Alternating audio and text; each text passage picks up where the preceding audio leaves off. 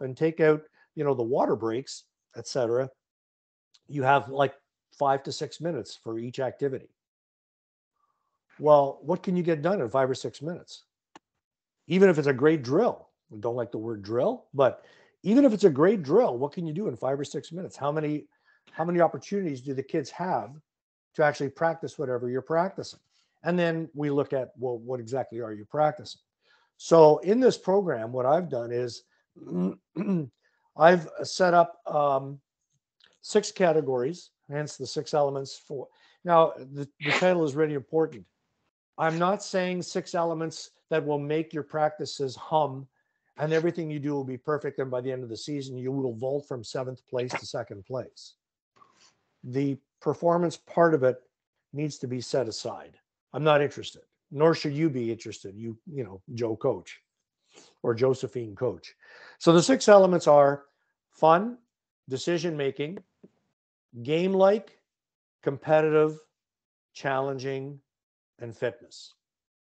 So for each category, I present the coaches with what is research telling us in hockey and in soccer about the hockey is i'm sure you guys who are you know all hockey ex- experts for decades will agree of all the team sports in the world hockey is by far the most challenging to coach by far the only one that perhaps comes close is Buzkashi.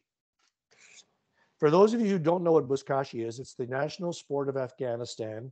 It's played on horseback, and you get about 40 people running at each other on horseback, picking up the headless carcass of a goat or a sheep and trying to carry it, weigh like 90 pounds, and throw it into a circle. I I've seen Buzkashi on on YouTube. I haven't seen any referees because they'd probably be run over and killed. It does aside from Bus- like hockey. It it is in the in the old Federal League, Tim, uh, or in Slapshot, right? So aside from Buzkashi, hockey is the most challenging sport, but we don't provide coaches the tools. So in this presentation, I am providing them the information. You cannot, as as a former teacher and a teacher of adults, you cannot. You, you, you have to take the classic storytelling technique of show versus tell. You tell coaches to do something, they're not going to do it. Well, listen, I didn't do it that way when I was in midget or in junior, or I watched that junior team practice, or I've been going on various websites and all these major junior and pro coaches are saying, I do this and I do that. Our world in minor hockey is light years apart from the being on the ice daily world of junior whether it's junior. I mean, I remember my last group in junior in Montreal, in Ottawa. Uh, we were on the ice every day. I could not convince the owner slash GM we needed to take a break. We weren't a good team to begin with. We were on the ice every day, but the opportunities to do things with those players was enormous. If I wanted to work on sharp turn, I didn't. But if I wanted to work on sharp turns, I could have done it. We we did tons of stuff, and, and but you know, minor hockey coaches have two a week, maybe one a week, maybe three a week if they get into playoffs and they, they go deep. So their opportunities are limited, their knowledge is limited, their skills are limited, their backgrounds in coaching and teaching are uh, limited. So I provide them the information. And then I say to the coaches or to the organization, all right, if you want to take this further, let's go further with it. Contact me. We'll look at a, a, partnership in in mentoring. But first i have to provide you some tools. So i've done deep dives into books like this. I don't know if you've read this. Rob gray good canadian boy teaching at uh, at arizona state university. And then there's this one joe baker teaches at york university uh, tyranny of talent i love the title there there's a whole bunch of things that coaches need to look at look at, but they won't. Why? Life gets in the way. So I go, all right, I'll look at it. I will take snippets out of these sources and all the the research docs that you can find online under Google Scholar or wherever, and I will provide you the information. So let's look at the first one, fun. Well, fun is easy. If it's not fun in practice, then how you know in in USA hockey they they started that American development model and I think it was 2009 and the basic reason was because of a retention problem. And if you talk to Bob Mancini, which I have, and Roger Grillo, which I, I think Roger has been on this this call, um, USA Hockey looked at it and went, well, "Wait a second, timeout. We're losing our kids." You know, in USA, you have basketball and football and golf and baseball and all these other sports that have heavy influences culturally. And hockey, we're losing our kids. How do we keep them in? We got to make it more fun. And as Bob Mancini said on some other enemy podcast a few months ago, um, we got to take the outdoor game and bring it indoors. So fun. There are two ladies in in um, in USA Hockey or affiliated with USA Hockey, Amanda Visek and Heather Mannix, who did a really cool study about two years ago, I think, on fun. Their conclusion, without getting into all the bits and pieces, was that regardless of age, regardless of level of play, and regardless of gender, all participants in hockey want to have fun. Now, what they determine as fun is, you know, somewhat variable, but they want fun. So if we want to keep the game, the kids in the game, we we've got to have a huge fun and components. So then I go on to other things like decision making. This is a huge one everything we do in practice should involve I, I, don't feel I don't want you guys to feel like I'm preaching. I'm I'm I'm informing you what I give to the coaches. Okay, um, everything we do in in in a practice should involve decisions. If we want our players to make good decisions in games, obviously we have to do stuff in practice that forces them to make good decisions. So I provide the coaches with some of the research on that. A lot of it is coming from soccer, but some of it is also coming from hockey. Um, as soon as you put, I'll, I'll, come back to the toys on the ice. Let me come back to that because that involves decision making. Um, I show some videos in the presentation from stuff I've taken out here of kids participating in drills, activities, whatever you want to call them, where I ask the coaches, all right, watch this, observe, because the power the power of observation is crucial. So, you know, somebody said to me, I met with these guys in this organization last Friday night. I stayed, we, we were at, at this place having beer and wings till nearly two o'clock in the morning. Imagine hockey people talking for three hours. Go figure. Uh, and um, and I said, watch these videos. What do you see? What do you observe? One guy who'd been on just been on the ice in practice said, "Well, I was running a drill," and I said, "Tony, why didn't you stand off to the side and watch the drill, observe it?" Well, I had to run it. I said, you couldn't give your assistant coach the pucks to flip into the corner while you stood off to observe your kids. We don't watch enough. Yogi Berra was right. You can observe a lot by watching. So I showed them a couple of drills and I uh, on video and I said, what do you see? What are the coaches doing? What are the players doing? What's the feedback? What's the interaction? What's the nature of the communication?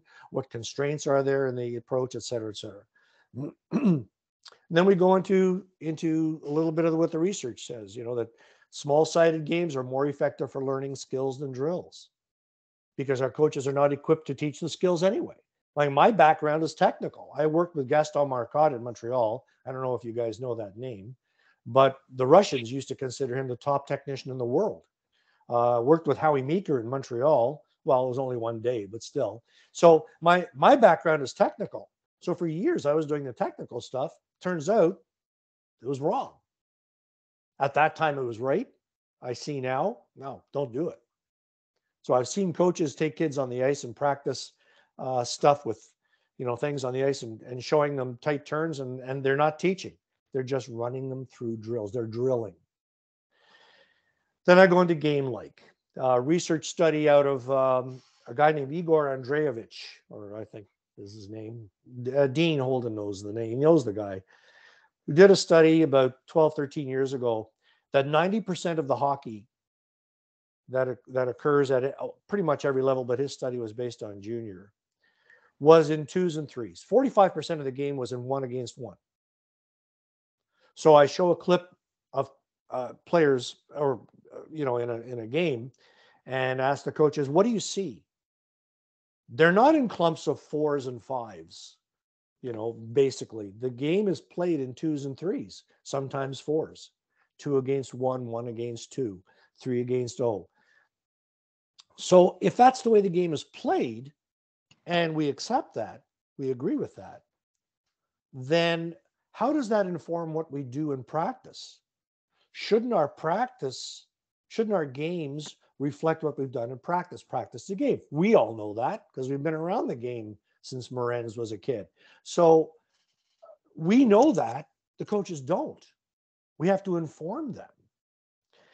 So I go into game like and I give a couple of examples of of drills, exercises, games you can play. And if you do this game, what happens? When I did a did a conference last year, last June, uh, the dean was at here in Whitby uh, with a girls program, and we ran coaches through some ice sessions where they did some of these things. They were astounded how difficult they were in a simple one against one game.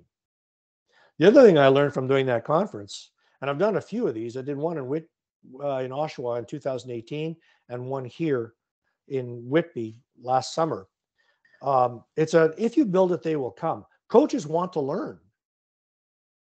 Like there was no certification for these conferences. 30 coaches in an association with 18 teams attended this conference. And in Oshawa, the same thing. Why? It's not because I'm an ex NHLer and I'm going to show off Stanley Cup rings. I don't have that. It's not because I'm I'm a captivating personality. Well, you know but they came because there was information that they could they felt that they could take. They wanted to become better. Adults want to become better. How do they become better? In my view it's up to the likes of me and and you guys to to provide that to them. Then i go into competitive which is the third one on the on the list and i provide them the uh, youtube link to um, uh, Zach Nowak's presentation he did a couple of years ago for USA Hockey, um, talking about you know what we can learn through through games. Bob Mancini had a great. I keep going back to the American guys because the Canadian guys aren't doing anything. So Bob Mancini had a great six minute video on the OMHA site last fall talking about how the game is chaos and our practices should reflect it. And it was fantastic messaging, but um, what's the follow up? What does that mean? How do coaches apply it? What should they do? What shouldn't they do? Um, so I go into in the competitive one, uh, what's a good game design? And game is in quotation marks. How do you determine game? So some of this I've I've just stolen with Dean's permission from Dean Holden. Um, what constitutes proper games? What are the constraints? What should you do? What shouldn't you do? Why would you put in constraints? Uh, what is it leading to? Um, and then I go to um, from competitive to challenging and the constraints led approach. And I, I'm very cognizant of not throwing too much terminology at coaches.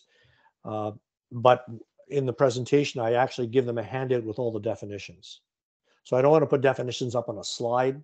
They've all graduated grade six. They can all read. So I'm not going to put that up on the slide, but I they'll have a handout and I say, all right, look, read your handout on your own time, whenever. Here's what constraints mean. They're rules, they're limitations. If you're going to play two against two, why are you doing it? What are the rules around it? Are you going to use a yellow puck or a green puck or a red puck? You know, which all might mean something different. Uh, and why would you do it? What is it you're trying? What's the big message you're trying to get across? I should have started it by saying the. I start the presentation with um, what are the four roles in hockey? You know, uh, play with the puck, play near the puck or supporting the puck, play defensive play. You know, you know the four rules. I don't have to go into that. So I go into the challenging part. I show them uh, some uh, photos of taken from Rob Gray's book. Um, he teaches at Arizona State of Mike Trout, the baseball player, hitting, uh, hitting, uh, two different stances, and then I show pictures of I'm a Montrealer, Cole Caufield of Montreal taking a one-timer shot. and look at the, you know, you coaches, what do you observe? What are the differences here? What do you see? So research is telling us that there are no two things that you do that are alike at any time, basically. Like you can hammer a nail, you know, 50 times, and every time you strike it, there'll be a different angle of your arm to your wrist to your, you know, and so on and so on. Then we get into challenging with on ice toys, which will be the the contentious one. if you want your kids to make good decisions, remove the toys. Or as Adam Oates says, get the toys off the ice, all of them. He said that on a podcast a couple of years ago. Get the toys off the ice. Um, the the skills development instructors and Hockey Canada has to take some responsibility for this disease we've got all over the place. Every skills instructor is the best in the world. They come floating in at 250 bucks an hour to teams. They take up, you know, we're going to use the skills instructor for 30 minutes. They're going to roll pylons. They're going to jump over plastic sticks, and uh, now they'll be better. And they aren't. You ask the coaches, are your kids better? No. Well, I don't know. Maybe they turn a little bit better, but can they play better? Um, I haven't seen it. So we're teaching technique, but not skill. There's no application. There's no learning that's taking place. Basically, is is the problem. So I go into a little bit about the ask questions. You know, very Socratic approach. Uh, who's making the decisions on where to go and why with with the toys? What's the player looking at? Who's what are the decisions that are being made? How many reps? What's the variability, et cetera, et cetera, et cetera. I talk a little bit about the forgetting curve. If you do something for 20 minutes of practice once a week, they're going to forget it, you know, within a day. Um, and that's, and the last one is fitness. And here I've stolen unabashedly from a guy named Raymond Verheijen. I think I pronounced it right, who's a Dutch soccer researcher. He's going to be on my podcast next week. Dean and I are having him on, um, who talks about fitness for, he says, football. I've substituted hockey, fitness in hockey versus fitness for hockey. That we get very focused on getting the kids in shape in season, which of course you can't do, um, as opposed to having practices that, again, the word hum, go, go, go, go, go. Um, let's play lots of games, uh, various types for various reasons, and the fitness will come from that. But the coaches don't know aerobic versus anaerobic. They've never heard those terms. They don't know their application. You know, and then they're thinking, well, I have uh, nine forwards on my team and six defensemen, and I'm going to do what the junior teams do. Well, wait a second, timeout. The junior teams have four lines of 19 year olds who've been playing competitive hockey since they were eight. You've got three lines of 12 year olds who have play, been playing tier one you know, or four competitive hockey for two years.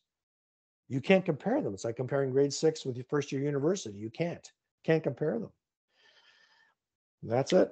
That's basically it. So this is what the like the slide looks like for can you see that? Let me get that in front of the camera. So no, that's not right. No, there we go. I don't know if you can share your screen. Uh, maybe I should do that. That makes even more sense. Yeah. Give it a whirl. I'd like to see if that yeah. works. Um, uh, hold on. Okay. I put up a question earlier when you were talking, Richard, but yeah, uh, I'm not sure where to go with this. Um, but no, Richard's right. created this program, and I think every one of us has worked with, in the way we work with the programs that we, we're working with them, trying to do the programs they've been given, and uh, it's a little bit different. It's uh, I personally feel really awkward in the role of mentorship anymore. Can you see that? So I'm, uh, you know, I'm at a loss right now of where to go in the process of trying to um, contribute a little bit uh, wherever I can. But anyway, uh, we're, I, we're, looking at your Gmail, Richard. Oh, you can't see that? Oh, uh, looking at my Gmail, Gmail, won't. No, my Gmail won't help you. Mm. um, hold on. Uh, view tab. Oh, we don't want that one. No. Stop sharing that one. Okay. The share screen, uh, let's try this one. Chrome tab.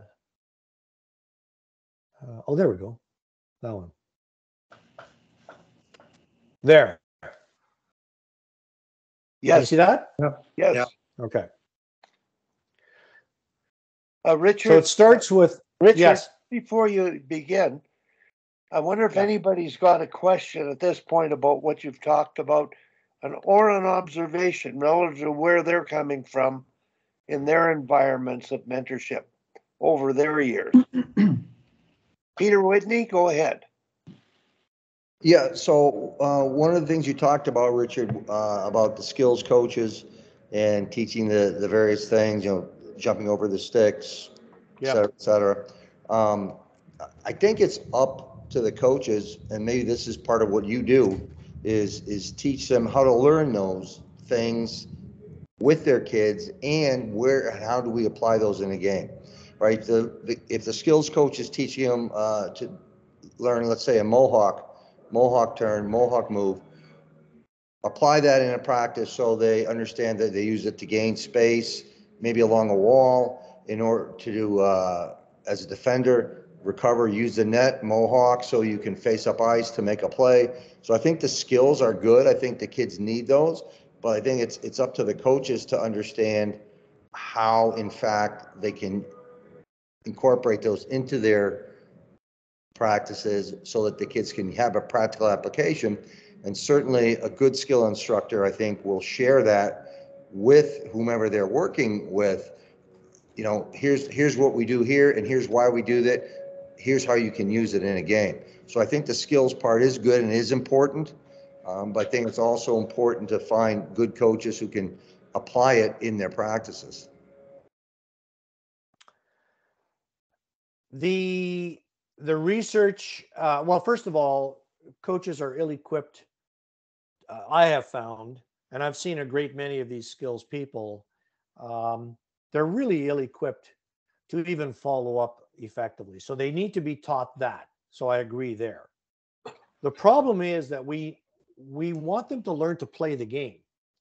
And the breaking it down into here's how you do a mohawk. I don't even know if that's politically correct anymore but um, learning how to do a mohawk or any other type of of skill isolated from all the other things they need to be able to do in a game is being shown in various research documents i have found to be ineffective it's actually counterproductive the kids are not learning you know uh, i don't know if you're familiar with teaching games for understanding tgfu are you familiar with that at all I mean, I, I've heard the term and, uh, you know, you used small games and so we- Right. We call them small area competitions because I Yep. kind of like the way that sounds a little better, but Well, TGFU began in Britain in the early 80s. It's a physical education term when they found that kids were not taking phys ed classes in high school.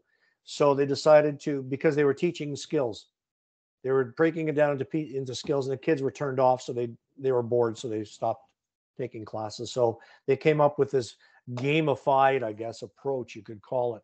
Um, called uh, teaching games for understanding. So they, you know, hockey is an invasion sport. They have different types of sports: hockey, soccer, uh, lacrosse, all under the umbrella of invasion sports. And they found that by putting the kids in a, in a, a game type environment, they were more likely to try to uh, to apply skills, and that you could correct them as they go along. So there's a whole art to um, uh, you know doing an activity taking the kids who have trouble doing a different certain type of turn and and you know providing them some instruction in that on the side. But not st- i saw a junior team out here where the assistant coach who was a skills instructor the girls that were 17 years old they're junior level girls. So they're pretty skilled. And they were doing a warm-up drill. I didn't like the warm-up drill but anyway they they did a warm-up drill. And after four girls had done it he stopped the drill and was teaching them how to hold their stick because he didn't like the way they were holding their sticks. And the girls are standing there for maybe a minute, minute and a half, which is a long time, listening to this guy preach to them how to hold a stick. I talked to the head coach afterwards. I said, "Why didn't you just tell to, uh, uh, Johnny to, you know, talk to the girls who weren't holding the stick properly on the side, and you know, work with them that way instead of t- stopping the whole team after only four reps out of 17?" He said, "Oh no, you can't do that. You shouldn't they learn how to hold the stick properly?" I said, "Well, yeah, agreed, but you have to stop the whole team to do it." You know that kind of old old-fashioned approach. Coaches only have two practices a week. In house league, they have one practice a week.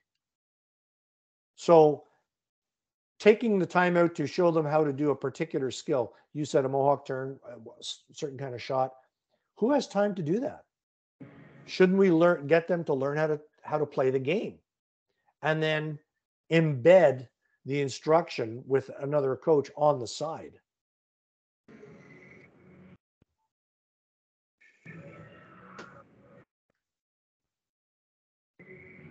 I'm just showing you some of the slides here that can you guys see these okay? Yep. Yeah. Yeah. So decision making, game like. This is the presentation from uh, Zach Nowak. I know I'm racing through this because I only have a few more minutes. I gotta take care of a baby. Um, how to create purposeful games. we're it seems to me that we're we've been very stuck for a very long time in an approach that has not proven to be very successful in practice um, like i've used a, a game type approach all my drills or activities when i was actively coaching were very competitive and very challenging and co- players often complained that they were too hard but eh, everything everything is e- is hard until it becomes easy. Um, there's the one about Mike Trout. There's Cole Caufield. So the coaches observe that. And what do you see as the difference in the shooting technique?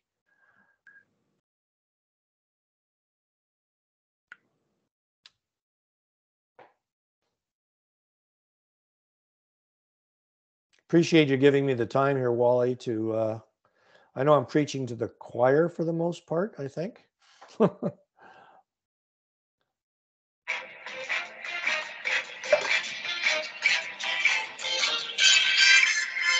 Not coming from me. Uh, sorry, I can't talk. No, that's, that's Wally's phone. Oh, okay. A familiar, a familiar tune to us. What's a what a great ringtone. Yeah.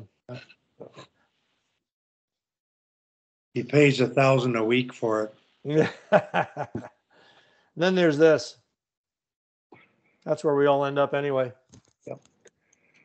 Richard, I'm going to uh, throw a curveball at you. Sure.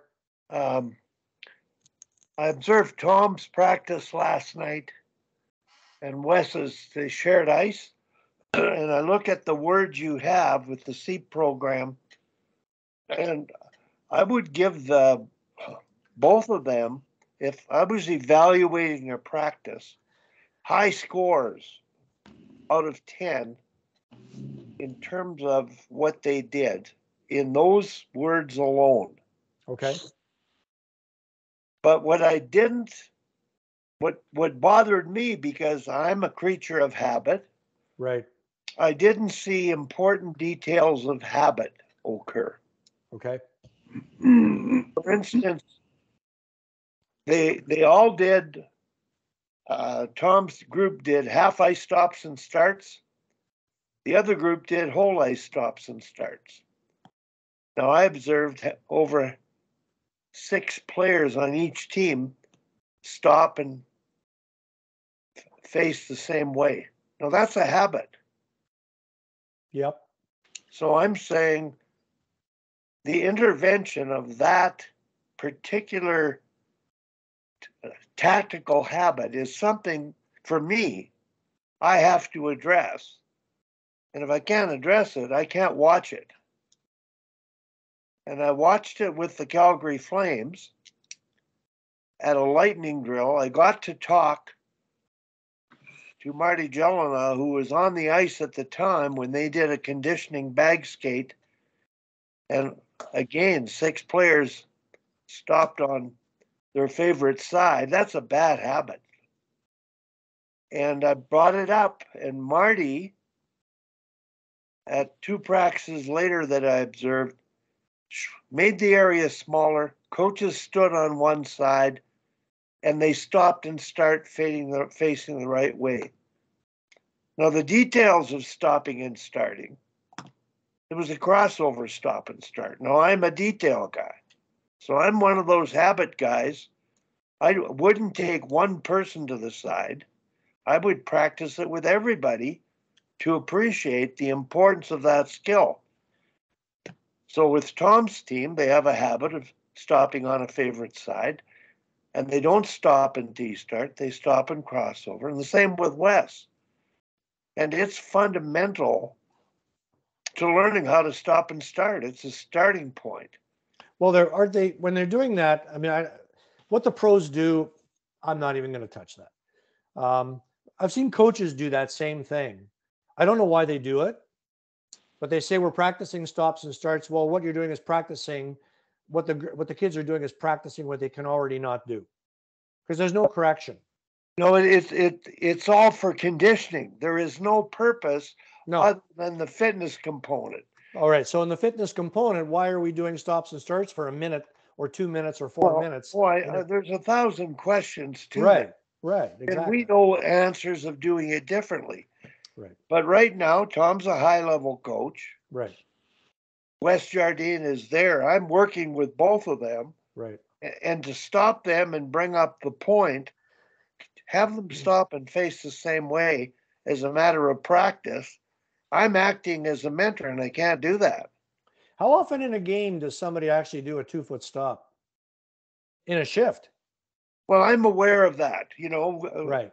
I obviously the coaches I'm talking to aren't aware of that. Right. They don't know what they don't know. and I can't talk to them about it. hmm So I'm, I would, I'm- I I'm, would say the answer to that is all the time. But it's that? not necess, it's not necessarily the most effective, efficient way to stop, Mhm. but two foot stops happen all the time. Well, And it's funny. You, They're you the correct choice and sometimes they're not. There are no absolutes in hockey, Right. I would say. Right. Sorry, Wally. no, that, that's a good point. Um, but I'm thinking, Tim, the habit of always facing the puck is without, when you don't have the puck, you want to see the ice. You, you, it's a habit and that's, that's what I'm getting at. My frustration with coaches is strictly in the teaching of the elements Yes. that you appear to be brushing off so they can just play and learn by trial and error, which I'm beginning to uh, agree to. So I have to stop being so anal about individual skills. Like Tom is working on his assignment there. and he's he's the guy that I'm watching the practice of where I tried to interrupt the drill and bring up a point, and it's not important enough to them given what they're doing. Well, So- they were stopping and starting, they were gambling whether a guy scored or not and just going back and forth. It wasn't really, No, that wasn't the primary purpose of it. They were scoring. it was a punishment for, not a punishment, but it was a fun thing that if they guessed wrong, they had to skate back and forth. So that, I wasn't even watching their technique. So the habit isn't that important for the the technique, and that's the point. The purpose, But Richard. right there, it was insignificant. No, The but- the thing was they were gambling and we're having a little bit of fun. Yeah. You know, it was a gambling shootout. Okay, I guess that's what I'm saying. They had fun. It went well. But in terms of my approach to watching things, I would interrupt it because that's important too. But according to Richard and Tom, I don't think interruption adds to the fun or the condition. Well, condition. we could have said, we could have said, make sure you face that end when you stop. It just Yeah. never even occurred to me. I mean, Yeah. you there when you know, Wally, you said that you're anal about the technical. I don't. I don't know who's more anal, you or me. Having done this for years and years and years of of of looking at a kid doing something and going, well, shouldn't their head be this or their arms be that or their feet like, and um, in the in the context of a hockey practice, it's really difficult to teach it. Um, if if coaches are provided certain tools to learn, okay, what are the technical parts of a tight turn, and they all say, well, hold the stick. Well, no, it's the head. But anyway, that's a whole other problem. Um, you can put constraints, rules, limitations, whatever you want to call it, in in an activity that forces them to stop a certain way. Have an assistant coach or a head coach on the side to discuss with the kid or show the kid before their next turn. Here's what you got to do with your feet. What I'm suggesting is, and what, and I'm, it's not coming from me. I'm doing, I'm the face of of all this research, I guess, is that um, uh, breaking down the skills in practice and trying to teach them you know with all the toys on the ice or even without the toys on the ice just using the dots and lines is actually counterproductive and i've seen it myself like that's a lot of practices i've seen in three organizations over the last six years it's astounding when i ask coaches afterwards what are they better at uh, and what do they do in games how do they apply it in games we're trying to get the kids to learn to play the game. Yeah. I, I would, I would, obviously, Richard, you gotta go. I'd love to have a longer discussion about this and maybe Yeah. the, Yeah. maybe the five of us will when, when you jump off, but Sure. Yeah, like, doesn't the current state of the game, and I'm not talking necessarily, well, at the NHL level, yes, but at every level, down to you can say Bantam even or Pee Wee, the current state of the game, everybody skates better Yes. than they did 35, 40 years ago. Five years Everybody- ago. everybody Yeah. shoots better. right. Everybody can handle the puck better. right. So, in some ways, is that not evidence that specific skill acquisition and development does work? Because that's been the whole focus in the game the last 15 years. And where I'm going is where I always go it's not one way or the other way. Right. it it needs to be a blend and a and a combination. And i'm one that like how do you how do you you apply a skill as a player if you don't know how to execute that skill? Some specific skill development i think is helpful useful and productive and i would love to know how researchers prove that that's not the case when it seems self-evident where the game is now. Like there is not a player in the NHL who you can point to and say that guy's a poor skater. And 40 years ago when I played, there would be five, six, or seven players on every team. And it's partly because there's way more specific skill, practice, and ex- uh, acquisition. I would argue. So it's a it's a complex thing. Yeah, and I, I, I do have to jump off here, but um, I mean, uh, it's it's somewhat anecdotal. What you know, the the the approach we're we're talking about. Um, we do tend to fall back to the higher levels, and what you know, the higher level kids, even the lower level, higher level kids. I don't know if that makes sense, but the Mm. lower level, higher level kids, uh, they're they're on the ice six times a week. They're in summer hockey all you know constantly. Um, they just they just keep going and going and going and going. The the coaching is not necessarily better. The instructors are not necessarily better, but you know over the years that I've coached at every level up you know that uh, you know through to junior and college that um, uh, the players who are more motivated, you know maybe, but you, the typical house league coach, the kids are just as weak the tier two, three, four, five competitive level players are still just as weak. Their knowledge of the ability to play is still just as bad. But what do we see? We see the best kids. We, we make that comparison.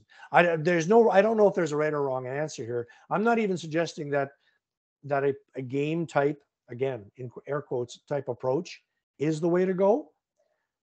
Thoroughly, like if you talk to Dean Holden, the whole thing would be game game type, and he and I have discussed this. What I'm saying is that we have to train our coaches to be aware of how, um, uh, what is the role of technique versus skill? Skill is the application of technique. Is it happening in games? Girls hockey is a mess out here. 19% of the girls hockey players in the world are in Ontario. The girls that I saw the last two years working in an organization here, you know, they they're being taught to push the puck with one hand on the stick. They can't stick handle for their lives. Are they better? The best kids are better because they're on the ice six times a week and go to two months of hockey schools and spring hockey. So anyway, I, I Just interject something here. sure. Horst Wein did all, you know, he field hockey and soccer. He set up the program for Barcelona and everything. And, and about teaching the skills, what he did is you create a need to know. So you have a game that maybe you have to make all your passes with your left foot, and then the then the kids be struggling because they don't have the skill. Then you have some you call them corrective exercises, where you, you work on the technique of how you how you do that skill. Then you go back to the game again, you know that they've got, you know they've got the proper technique, and that that's his process. You always create a need to know, because if you're just teaching things and kids or anybody doesn't even know why they're doing it, there's not much focus. But if you're frustrated, you don't know how to do something, someone gives you a few ideas, and that that's basically his uh, premise. And I, I, I'm sorry, guys. I have there's a baby that I have to take care of, feed, change diaper, and um, I, I appreciate the time, Wally. I'll try to jump on again in, in the future. Um, Okay, well, I've give, got, give them my give the, give everybody my email address, and you know, we- let's get into a, a conversation. Love to hear what the feedback is. Hello, Hal. How the heck are you? Uh, I'm good. oh, Thank you. hell, I'm, uh, I record this, so the conversation after okay. is going to be the conversation that matters the most because you're talking to experts, Mm-hmm. so-called we are, Mm. who are still trying to learn about what the hell's the right way to do things. Yeah. Right. And I'm not sure I know at all. I feel dumber than ever right now. And so my Mm. my conversations for the rest of the day is more in keeping with your approach and actually Hockey Canada's station and game like approach. And depends what's in. It depends what's going Oh, on in the oh, stations. I- let, let me finish. yeah. I'm watching one coach live by the Hockey Canada model of Mm. three skill stations hmm with great reputation. Are Mhm. they proper and accurate? No, but there's activity, fitness. And then when they combined with Tom last night, they played a whole ice game and they Mhm. played some competitive games. They had fun. hmm The practice would score a nine out of 10 on every one of your points. hmm It's just for me, I wouldn't give it a nine out of 10 because I'm a teaching asshole. No, and I'm serious. yeah. So Richard's point, uh, Tim's point of coming back on, maybe listening to the second half of this at Yep. your opportunity and continuing is really valid. But I've gone full circle now, and I should have reminded myself, and you reminded me of the lesson coaching double A hockey, where I was over coaching, over teaching, over technical Mhm. and I just finished proofreading a book on Fa- Father Bauer, and his credo was technique matters, but let the spirit prevail. Yeah, Wally, I we gotta go. Gotta let him go, Wally. He's, he's already ten minutes Thanks, over. Richard. Yeah. Okay, gotta go. Talk to you later, Okay, fellas. take Thanks a lot. Bye bye. Yeah. Anyway, for the rest of you, my uh, my lesson is, and I'm going back to when I started to coach hockey. Um, let them play more. Don't worry about those details. To that degree, they're they're they're not that important at the mm-hmm. level he's talking about. And if they are, those kids are going to get their individual instruction, their individual high priced help, which is largely all about offense. And that's fine too, because the game's more fun with the puck. Nobody enjoys playing without it. So, Peter, welcome, Michael. Peter. Yeah, Tom, did you have something else? Your hand was up before me. Okay, I, I don't have anything else. I gotta lower my hand. And Tom, Tom's, is your hand still up? Tom's is up too, but I think he. My hand's still up. I thought I took it down. Okay, I just wanna, I just wanna make, I just want, Creating a need to know. yeah, I just wanted to make sure. I think, I mean, for me, I, I think what I, what I pull out of what Richard was saying is how teaching the skills and being very, very anal about how you do your crossover, how you hold a stick, all those things, as it applies to a, a youth hockey practice. I agree with how it can bog down a practice for sure. However, somewhere in this, the kids still have to learn how to do things technically, because if you can't do things technically, you're not gonna be able to do them tactically, right? If you tell, if, if a, if a, a boy or a girl can't turn one way or the other, and the drill is the puck goes in the corner, pick it up on your forehand, come up the wall. Well, if that boy or girl can't turn the proper way because they haven't learned to work their edges, they're not going to be able to play the game. They're not going to have the fun because they're not successful because fun comes from some measure of success. So I think 100% you have to have the skills. And I think there can be a blend. I think at any practice, we can work into certain skills depending upon what that, like, like I said, I call them sock drills. That's because I, I used to work for a, uh, a coach who, when we tried to introduce small area games, he became incensed because he said, um, it sounds like it's too much fun. So we said, okay, let's call them small area competitions. Let's call them sack drills. And he was okay with that. And it was the exact same thing. But you can get better by introducing those different rules, techniques, but somewhere along the line, those kids are going to have to have the tactical and physical ability to perform that, right? So I mean that that's kind of that's kind of my thing. I mean, I learn a lot too. Actually, I'm learning a lot right now from a five-year-old grandson, and uh, I'm watching him, and I see now because he's at the point where he's progressing, where he's learning to write, where he's uh, learning to read. Well, if he wasn't shown how to hold the pencil correctly, I'm not sure he'd be able to write. So he has to be able to learn, you have to teach the technical piece for sure. You just have to figure out how the blend of that all works, I think. No, I, I, uh, I agree with uh, Peter. And uh, I just want to bring up a story where Tim and I, we were working uh, with many associations at the U8 level and even younger, literally a learn to skate, learn to play program.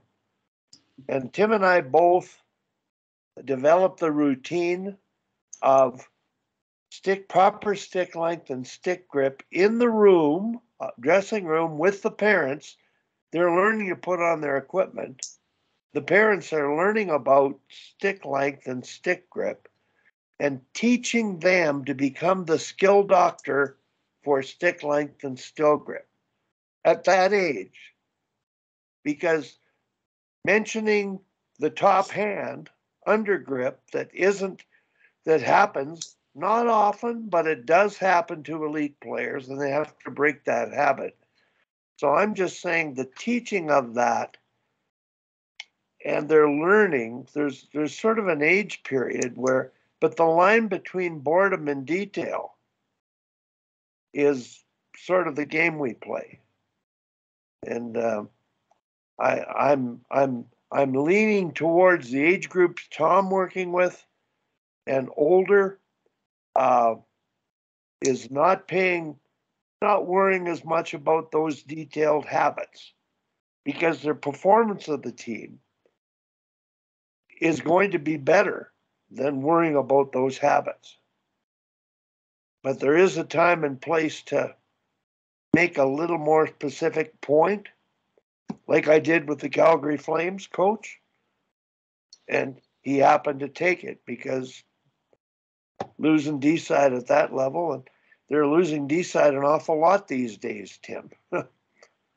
and uh, you know, really, as as anal as it may seem, I think all they have to do is right foot, left foot, two foot snow plows a little bit of the time You know why are they doing it so they can control their skating that's at the highest level. But you teach snow plows at the lower level. You teach inside edge mastery. But you don't do it like it's exciting to me because that's my boy you know? But those kids and those coaches god bless them they couldn't give a tinker's damn about that. But it's important. So the art of coaching, go back to the right stuff, right amount, right time, with whatever age group you've got, with whatever knowledge level you've got of the team you've got, is what matters the most. And I think that's what we have to figure out the most. Anybody else got anything? Uh, I'm I'm really I don't know if we've, uh, Rick, I'm really curious about your work you're doing in Strathmore and this conversation. Uh, I call it letting things go and letting them learn from it. And I'm more worried about behavioral coaching, bad habits, bad behaviors, not listening, and and in game situations that show a lack of respect and trust than I am about X's and O's anymore. So, uh, Rick, please, can you comment on anything? It's, uh, I, I don't know where to start, to be honest with you, Wally.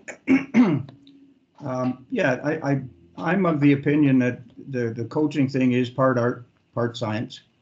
Uh, I'm one of the guys like you that could be anal about details about uh, repeating bad habits in practice without any attempt to correct them, running a drill or an exercise for the purpose of we covered that and we've spent enough time on it, let's move on. If you don't do the correction thing, they're going to continue to do it in a fashion that's not to their to their best interest.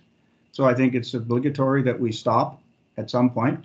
For me, if I'm in control of the whole situation, that's where you start your year. I, I start with an assessment of the group as a whole as to where they measure on the scale, what they're good at individually and collectively, what they need work on. And then we go from there in how we structure our drills or, or our practices. Um, we use the station format to deal with, let's say, crossovers. We would do uh, three different stations at three levels of competency and we would pace it accordingly um, so that no one's caught in a situation where they're being held up by the slower ones or the less skilled, or they're all conversely being uh, rushed to keep up with the best of the group. Um, for me, that's that's worked very well over the years. That's what I try to try to um, uh, suggest to the coaches that I'm mentoring. Um, as far as the fun factor goes, uh, I ran a session last night for a U18 team uh, everybody was giggling and bubbling at the end of the session. The the three coaches that were involved said that's the best practice these kids have had all year. They were basically putting themselves in it, under the gun, and I said it was all hockey. It was full ice drills. No disrespect, Wally, to the to the stations things, but we were working on on some specific aspects of the game the kids skated hard. They found out that they can go far beyond what they thought their physical limitations were as far as how much energy they could expend in an hour's ice time. And the fun aspect just came into it because they were they were playing hockey, but they were learning at the same time. I spent a great deal of time working one on one with players at the end of each rep. I'd pick one guy and go and talk to him about what he did or didn't do well or what he might want to do better. I got good response from all the players but to me, it's it's the combination of the art and the science. You need to to work on the fundamentals, the details, but you need to make it enjoyable so that they are involved. They want to do it. They're not doing it because you're telling them they have to do it. They're doing it because they enjoy doing it. And they learn according to that. Well, Rick, I I understand where you're coming from because I'm I'm the same kind of guy, but I've come to realize that the not everybody can do it. You can. And Richard's not talking about us. He's talking about coaches, average coaches. Oh, I realize that.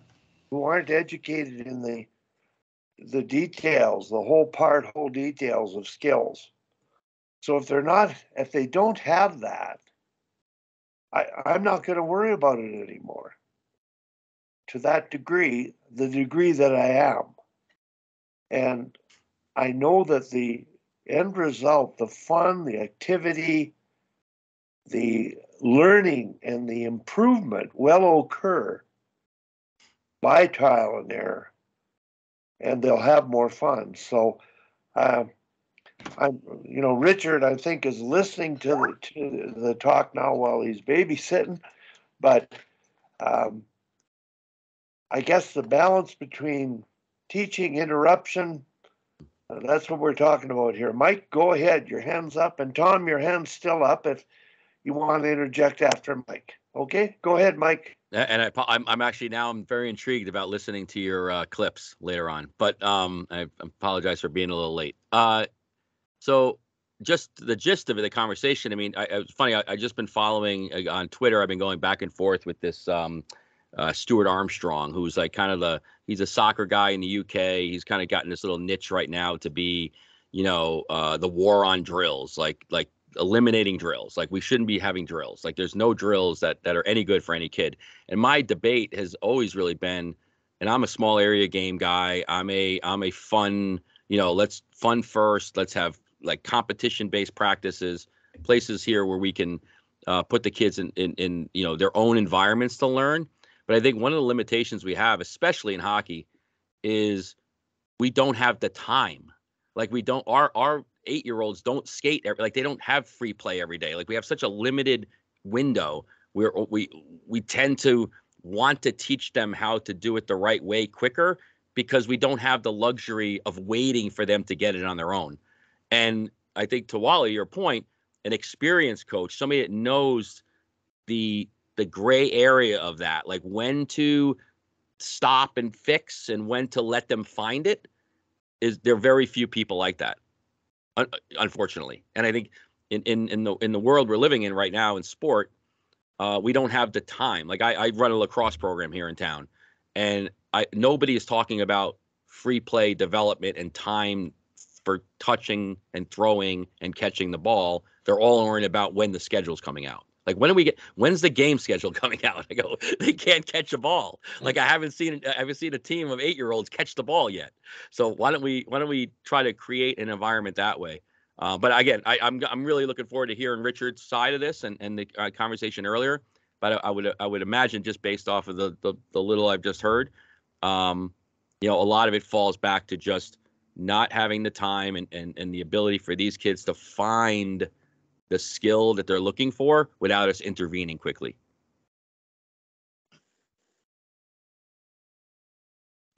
As baby as baby eats, and it's really ugly watching a baby eat. It can turn you mm. off food. the the conversations among the experts like this group and other friends of mine who have been coaching for years are always riveting.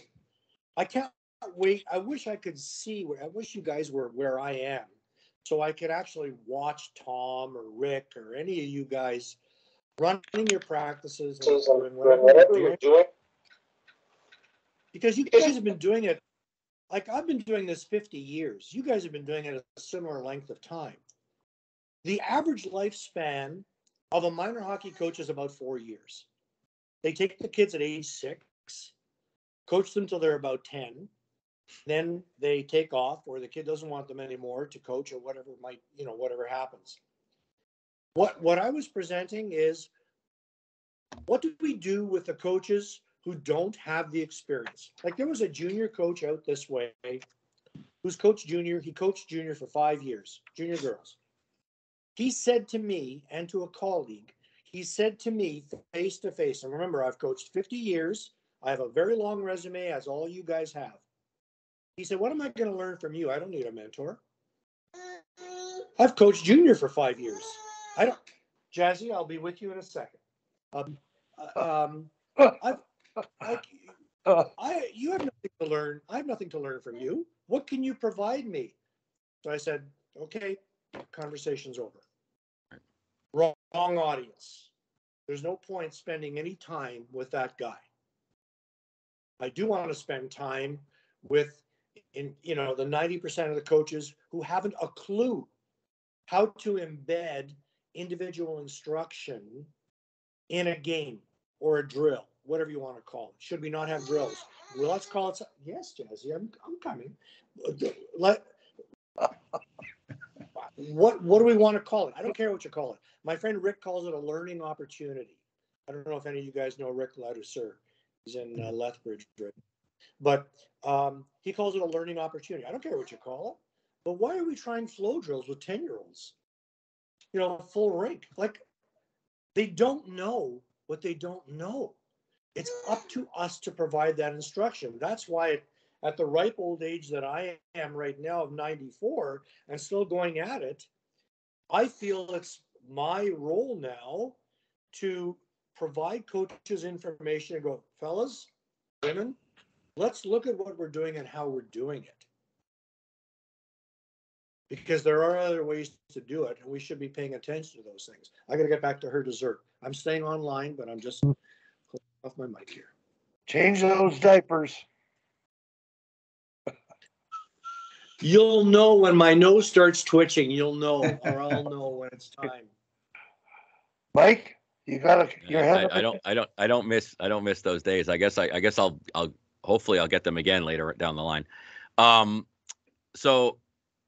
Yeah. So I. I think I. To Richard's point. I mean, that's where really where I've kind of found my niche. Right. Is finding coaches that want to learn and then doing everything I can to help them learn like and, and giving him you know giving him the 25 years 30 years of experience in a weekend you know you can do that. You can give them and say hey i'm going to give you the cheat code. I'm going to show you if you can do this with your kids then you can concentrate on these other things. Like let's let's get away from the stuff that maybe looks like hockey and, and you guys have had daryl on the on the call so many times that he'll talk about that a lot right? It looks like hockey and it looks like it's the right thing to teach and it and the and the parents see that there's a lot of flow and and action and going up the ice.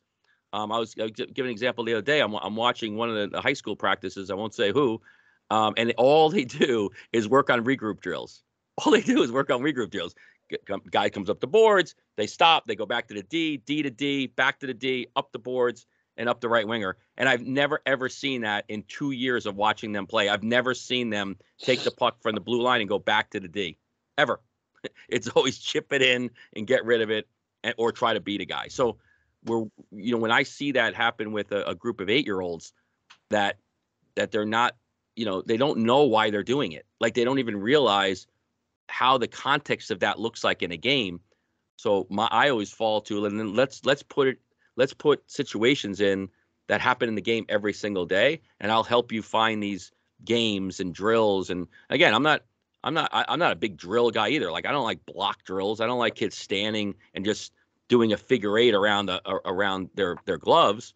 But they do have to have the competency and the muscle memory to move their arms and their body and shift their weight and find a way to to find that so you can move on to the next level. Like I said, it comes back to if you're like I, I went to a uh, I went to a, a, a, nice program with Mariano Rivera and he was talking about his you know his life and how you know he showed us how he built his first baseball mitt out of a out of a uh, a shopping bag you know and, and cut it up and folded it up and all of a sudden he's got a glove and you and you look and say he found how to do the things he did by doing them because he had all day to do it and we we've extracted that from our kids you know, we've taken that that opportunity away. That if you're not like free play is not even they're not even allotted the time for the free play. Because unless you're on the ice, unless you're with an instructor, unless you're with a coach, I think a, a lot of our parents don't think they're learning anything. Um, but again, I think it's a lot of like letting them make mistakes. I use the analogy as often as I can in coaching clinics that, you know, we've never seen a kid get coached in the playground, right? We've never seen a kid get coached on the monkey bars and on the slide. They just watch and they go, oh, I like what that kid's doing, or oh, that kid is swinging from there to there to there to there. And I tried to do it and I fell, but I'm going to watch the older kids and I'm going to learn. Like you never see, you know, a parent. There's no private instructors for the playground, and you know that's how kids learn. And I think we've lost we've lost a lot of it. I know in my world and in the hockey world I'm in, I've seen that more and more and more. I've seen a lot of kids that can have a lot of skill that don't understand how to translate that skill anywhere. Well, to, isn't to, to some extent, Mike, isn't that what um, kind of skill development drills are? You you set up, uh, and that's where again, I, I I think it's it's a blend of all these things. You got to fun. You got to play games. You got to slow it down and do some actual skill instruction and development. But that's what that is. It's like playground. It's like you can see the people in front of you going. It's like, oh, you know, that's how I learned a lot. I remember, I mean, just some people are visual learners. I was one and learning how to play tennis. I learned a ton just from watching people play on TV and like, how do you hit a backhand? And what does your body look like? And what's the follow through look like? And what's the setup look like? You, you know, I, I think it's unquestionable that if you want to get to a high level of competency, you have to have some specific skill instruction. Now, the trick comes in, as we all know, the trick is in the balance, you know, and, you know, Sam Holmes here at, with Girls Hockey Calgary, she learned pretty early with the little young girls, uh, six, seven, eight years old. She would do five minutes, literally five minutes of, of some kind of a skating skill, and then they play a game for 10 minutes. Yeah. And then they do five minutes of stopping and then they play a game. And maybe create a rule even at that level. You create a rule where you have to stop and change direction or whatever. But it, it's the balance between the specific and the random and the fun and everything else that that's the trick of it. And and it's i don't think there's a, a single formula but the basic message is make sure you have lots of fun do a little bit of skill instruction, and uh, and then you know some randomness will take place. Yeah, and I think in, if you create the right environment, right, you can allow them to have fun, and then be. That's why I love about station-based training is I can put kids in groups to have fun and play, but I can extract the one kid without affecting the other twenty. Like I can say, hey, listen, you know, I, I like I can't tell you how many clinics I've been to. I do I do a lot of NHL learn to play clinics, so I go around to different rinks and different places and try to help them and and just to help them format how they look on the ice. And I can't tell you how many times I've been on the ice in like week four or five or six where I see a kid has the wrong stick, like he's just holding the stick in the wrong hand, completely in the wrong hand. I'm like, it, it it's six weeks in, we haven't seen that, like we haven't been able to fix that. And, it, some of you might say, oh, well, he's got to learn on his own. He'll eventually get it. Well, maybe he won't, and and he'll never learn how to hold a stick. So, or, or when he does, he's wasted all that that valuable time of you know, you know, of, of skill development. But I agree, it's it's never, and that's I think my argument with this guy was there's no absolutes. There's no like, if you do block training drills in the corner, yes, you're going to get really good at making a first stick handling move and maybe burst out of the zone. But then what? Okay, so now you have to have there needs to be layers of how we teach, and more importantly, they have to be fun layers at every level. You guys know you've coached at the highest levels of the game. You can't have a miserable 45 minute practice. You have to create fun. And to, to Rick's point, like I can't tell you how many times I've run an 18U practice with the exact same lesson plan as I do with my learn to play kids. The exact, literally the exact same lesson plan. It just looks a lot different because of the speed and the and the competency and the compete level and all. But the laughing's there, the fun's there, the ribbing's there, the hey, I just beat you and you beat me. Like I I, I do that all the time. My like we in uh, our power skating station in our in our in our eight and under group is is border tag. It's three borders and they play tag. And, and then we, and then to your point, Tim, we add, okay, here's the constraint. You can only use your inside edges when you go around. You know, now they're doing mohawks and now they're doing pivoting. And now, oh, you can only, you know, you have to try to be, you can't go around without being on one foot. Oh, now we're going to add, if you want to tag somebody, you could jump over the border.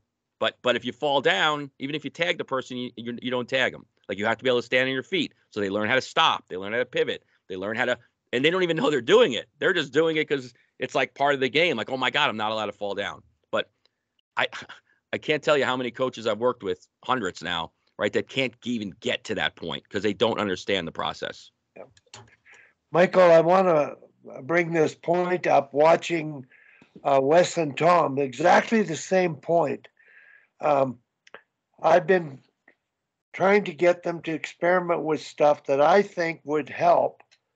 And I did a two on zero, two on one progression that was created by Yuri Kralik at a goaltending slash scoring clinic with the national women. Same drills I did with the national women. And both coaches adapted and did the drill. Tom let me run the drill. And I, the reason I thought the drill was important is they can't make a pass across on attack. They're U13 girls, top level girls in the city. And I'm wondering, is this too soon for them? But after doing the drill, and it was, you know, really done because to satisfy me because I badgered them so much about it. And I bought this expensive uh, microphone, remote mic, and I ran the the drill from the bench to the discomfort of both coaches, and I I sense that. But yet I saw the games, and I don't know whether I saw passing crosses. And last night, Wes repeated the same drill in his plan, and they finally did the drill, and it looked like it accompli- was accomplishing a purpose. So for me, in in the role I'm trying to play, that's sort of the influence with high level coaches. Now, Tom's a very high level coach Wes is aspiring to be, and the art of being able to influence coaches, which Rick, you do on a full time basis. There's, it's a mystery.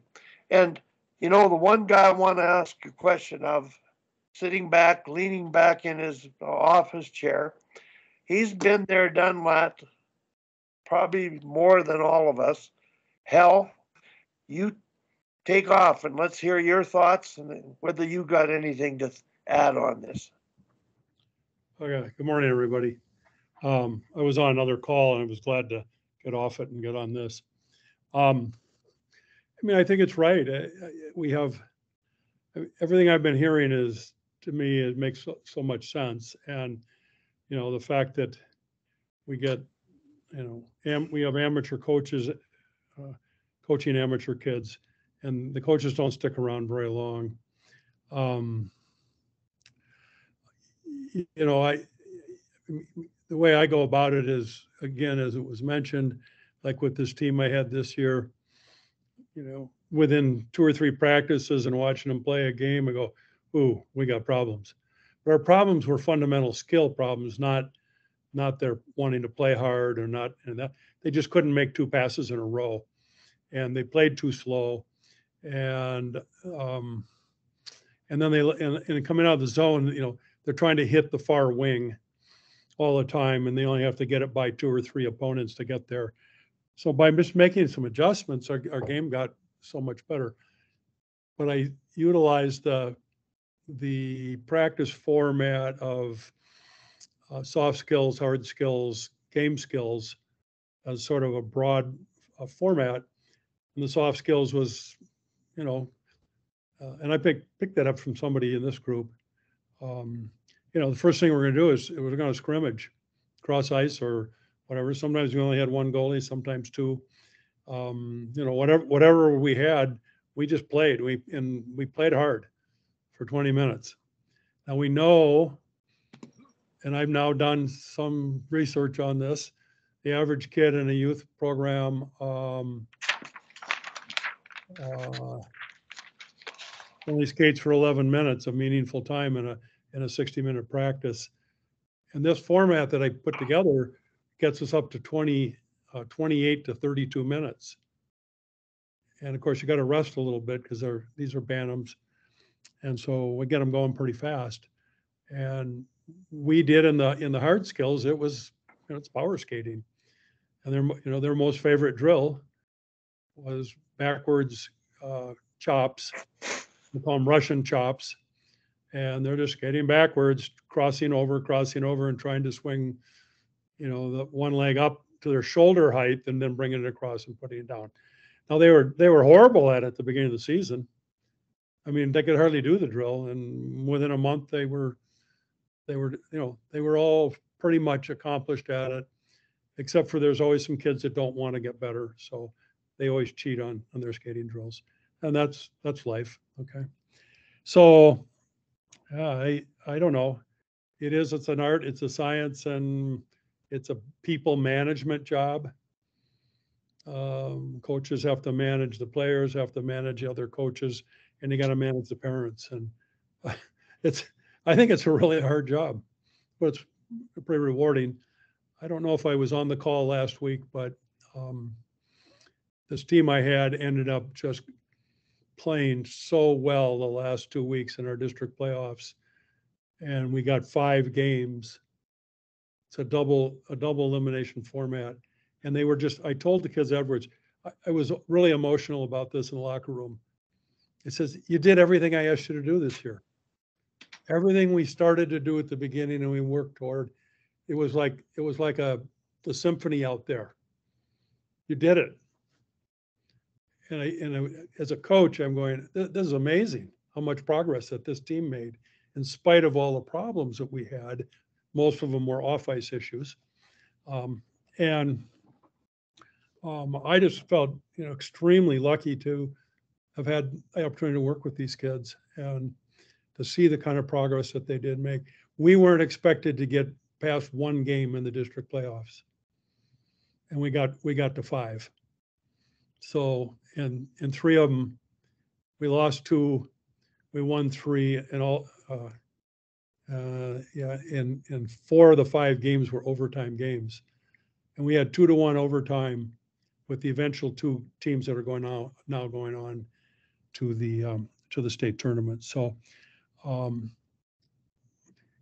you know, it's it's teaching. It's hard to transfer everything that we know to somebody else, right? I mean, because how, how does how does somebody with with 50 years worth of coaching, I'm actually now in my fifth decade of it. How do you transfer this information down to somebody who's in his fourth year of coaching or fifth year of coaching and has a kid on the team and thinks that his only job is to make sure his kid gets a lot of ice time. And so, um, I don't know. Uh, Richard, go ahead.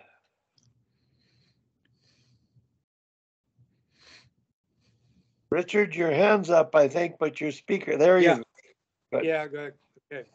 It's all done? Got a dog whining and a baby walking. Anyway, all right. Um, let me throw on my video here as well. Hello. Oh, that's not working. Okay, never mind. So I- I've become more convinced in recent years. I guess it's the teacher in me. Um, very positive towards coaches and get get everybody better and blah blah blah blah blah.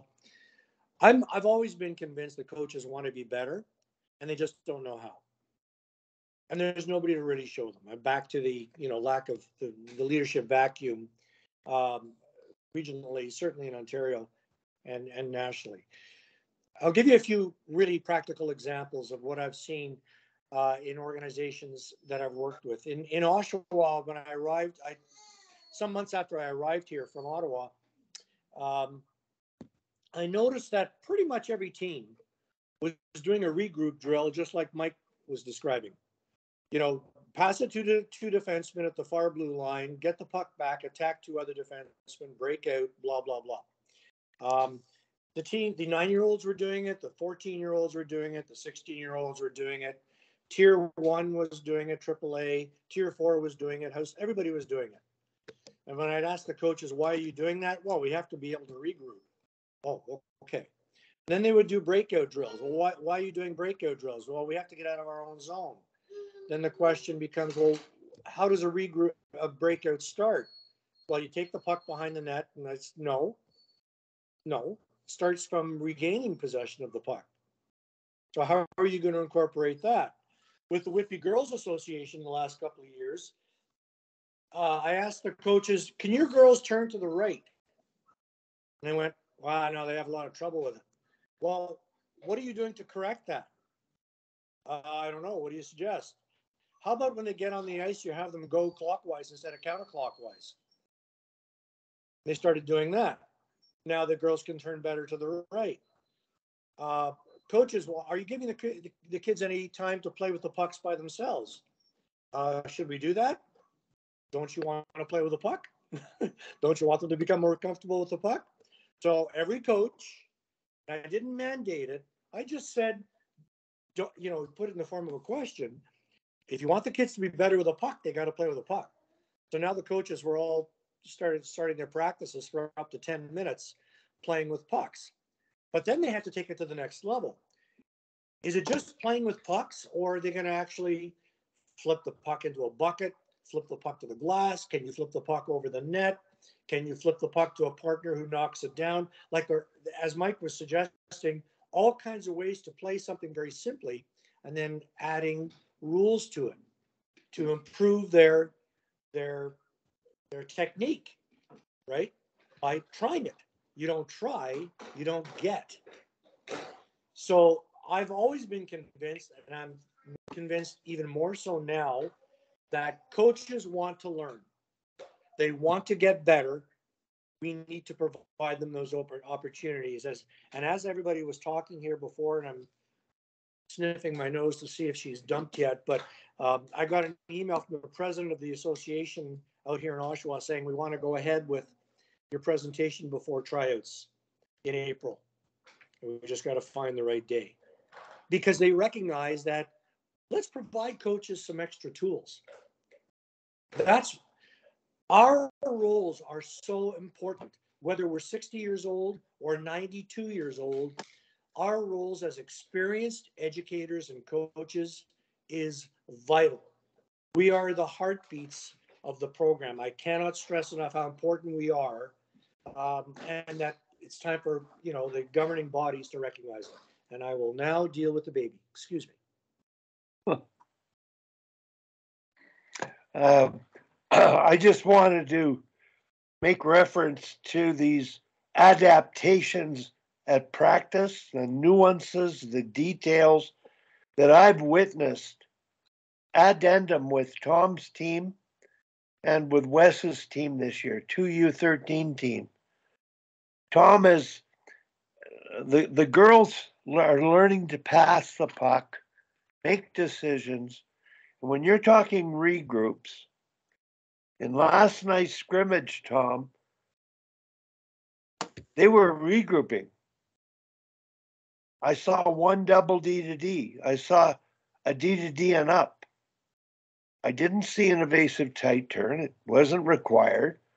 But I saw the work they'd done on passing happen in a scrimmage where two teams were mixed, whites against black, whole ice scrimmaging.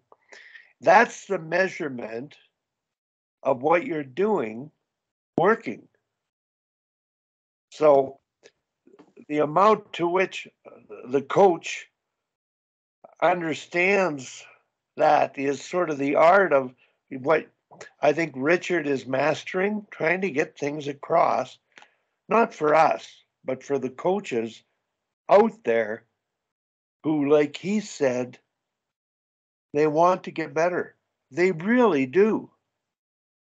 And the thing I struggle with is being more comfortable and helping them get better. And Richard, I I think you you've done more of it than than I have, working with a, an association that you, you literally grew up in, coached through, and the comfort zone of them appreciating what you're doing and coming to you and maybe asking you at times for ideas, that's when you know your time is worthwhile. So, Richard, can you uh, talk about sort of the successes of what you've done and those kind of moments where you think they're really getting it? You mentioned the uh, That won't take long. the practice you you ran. So, uh, Rick, in Strathmore, you mentioned the practice, the U18, and how well it went over. But you got permission to run a practice, and it was appreciated. So you're you've got you you now have acceptance within the organization that group of people anyway. So you seem to be making mentorship headway, which is what we're trying to do, is make headway so that this is going to help more coaches, therefore more players and parents down the road. Rich, can you speak to that?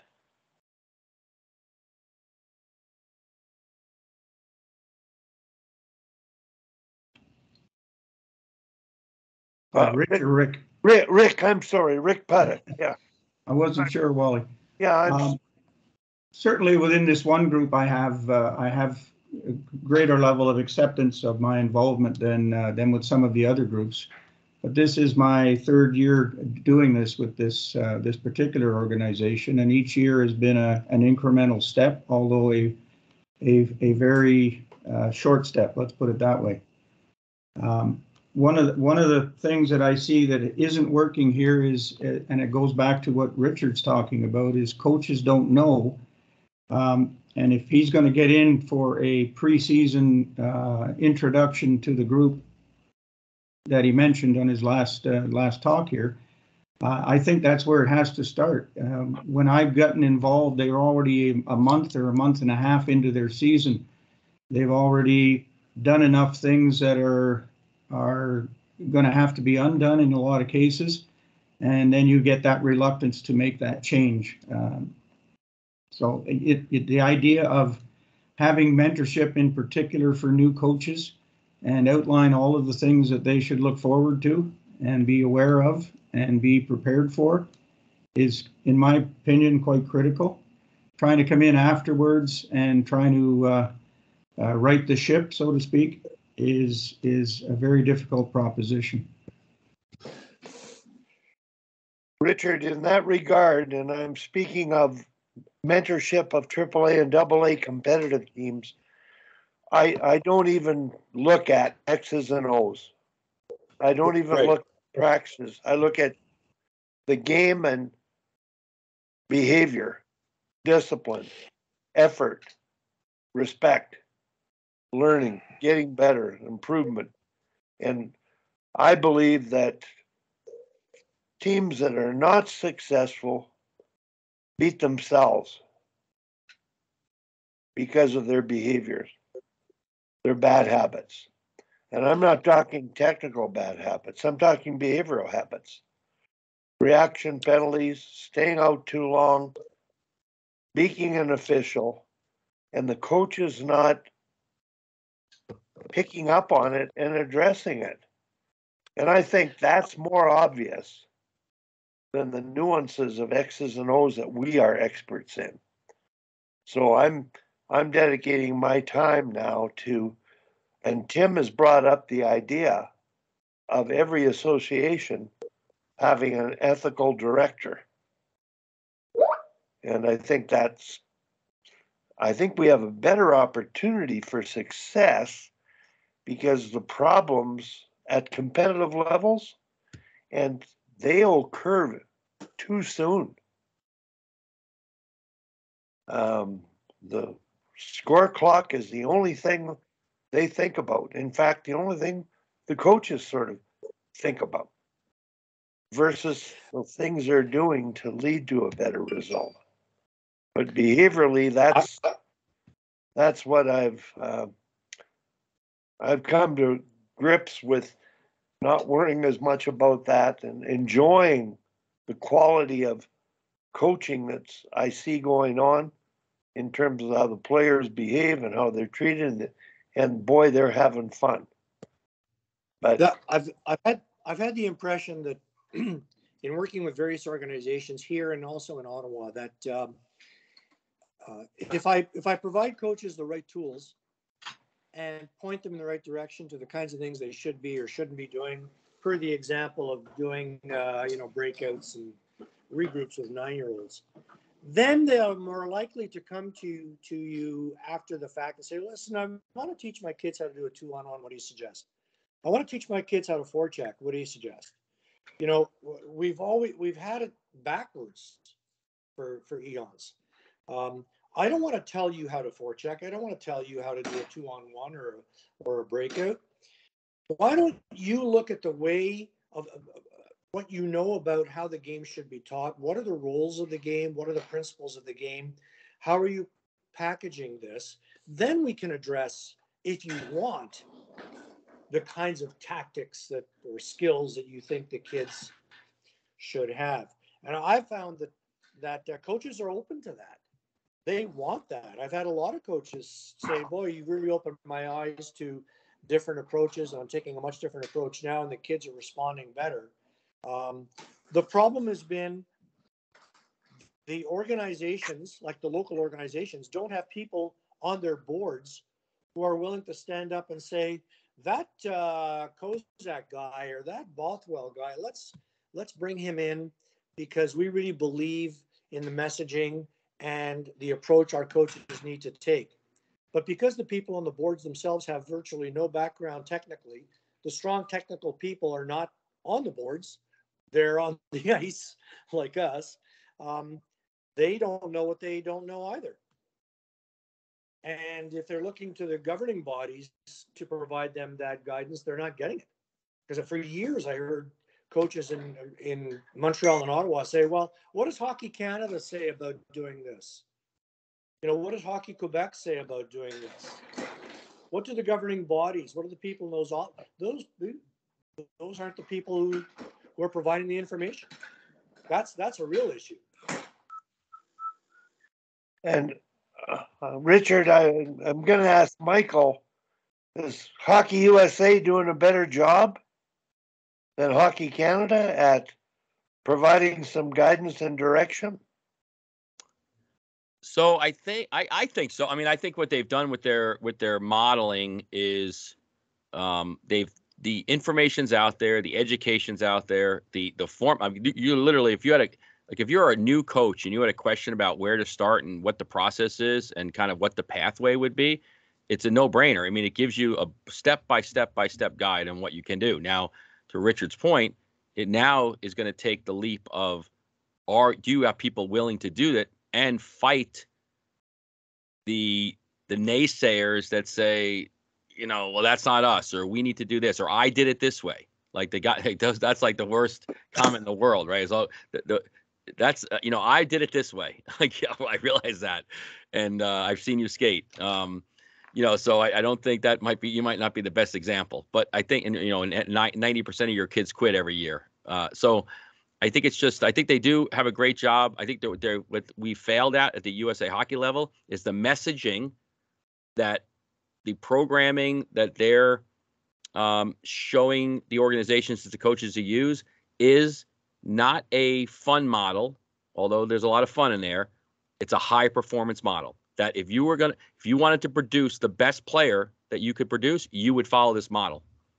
And i think what gets lost is like with cross ice and blue pucks and small area games is that's more of a fun model. That's not a high performance model which in fact is wrong.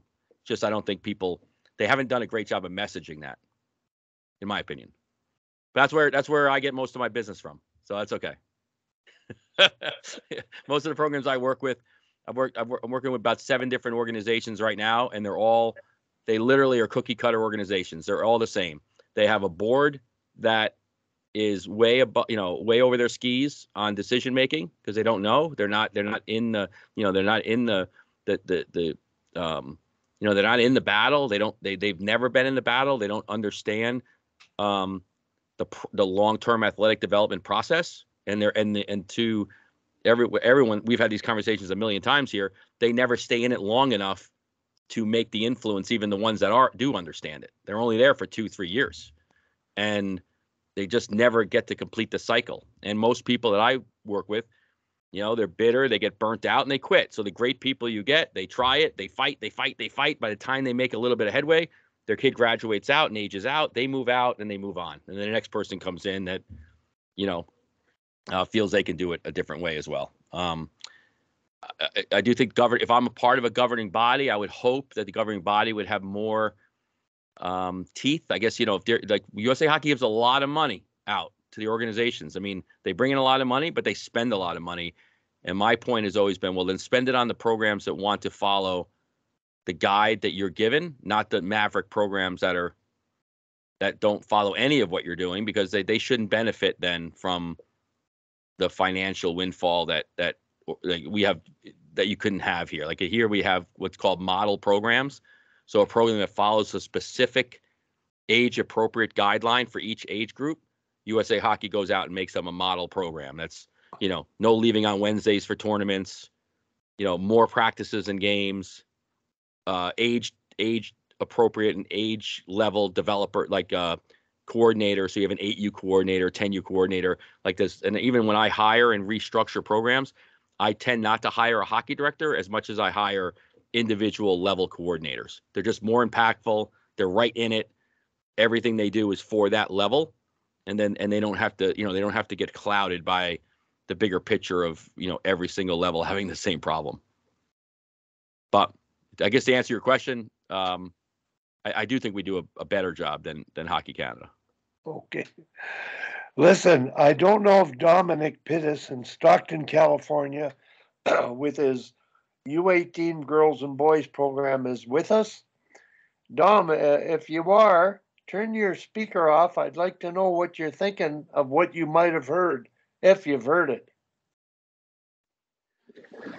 Hey Wally, sorry. Um, yeah, I've been just kind of listening in, just trying to get some some work done here. We have our girls program, which is going to be going to the high school nationals uh, in in a couple weeks here. So just trying to trying to prepare for that. But um, yeah, to be honest, Wally, I just you know it's uh, just kind of paying attention and listening to as to what everybody's opinion is, and um, you know I think well you know my thoughts on that. I've I'm in agreement with a lot of what's being said, and just you know the the group's philosophy in regards to uh, skill development and and that, and as far as the you know the kind of the moral compass that you kind of want to have as a as a coach. But um, no, not not much to add to to it, Wally, other than just uh, just kind of being a fly on the wall here. Anybody else that's a fly on the wall that's got something to offer to the uh, discussions? Well, I I uh, find something that's really effective to do is have tournaments within your practice. So you put multiple nets maybe on the side, even the little nets, or if you got a lot of goalies, it all depends. And you have tournaments, uh, either round robin or like, uh, oh, what's that one called? Where if you win, you go to the right. If you lose, you go to the left. And everybody plays everybody, and you change the rules, have different modified rules every game.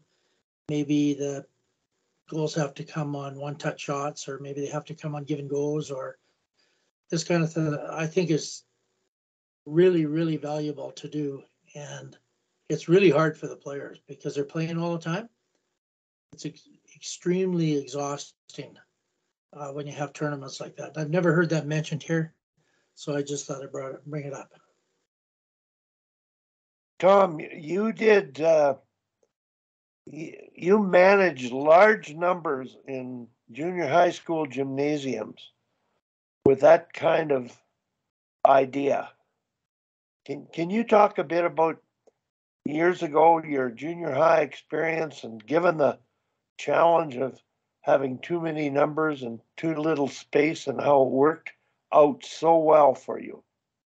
Well, I get two classes, so you get between forty-eight and sixty kids in a, a three badminton court gym, which is a little bigger than a full court volleyball, you know.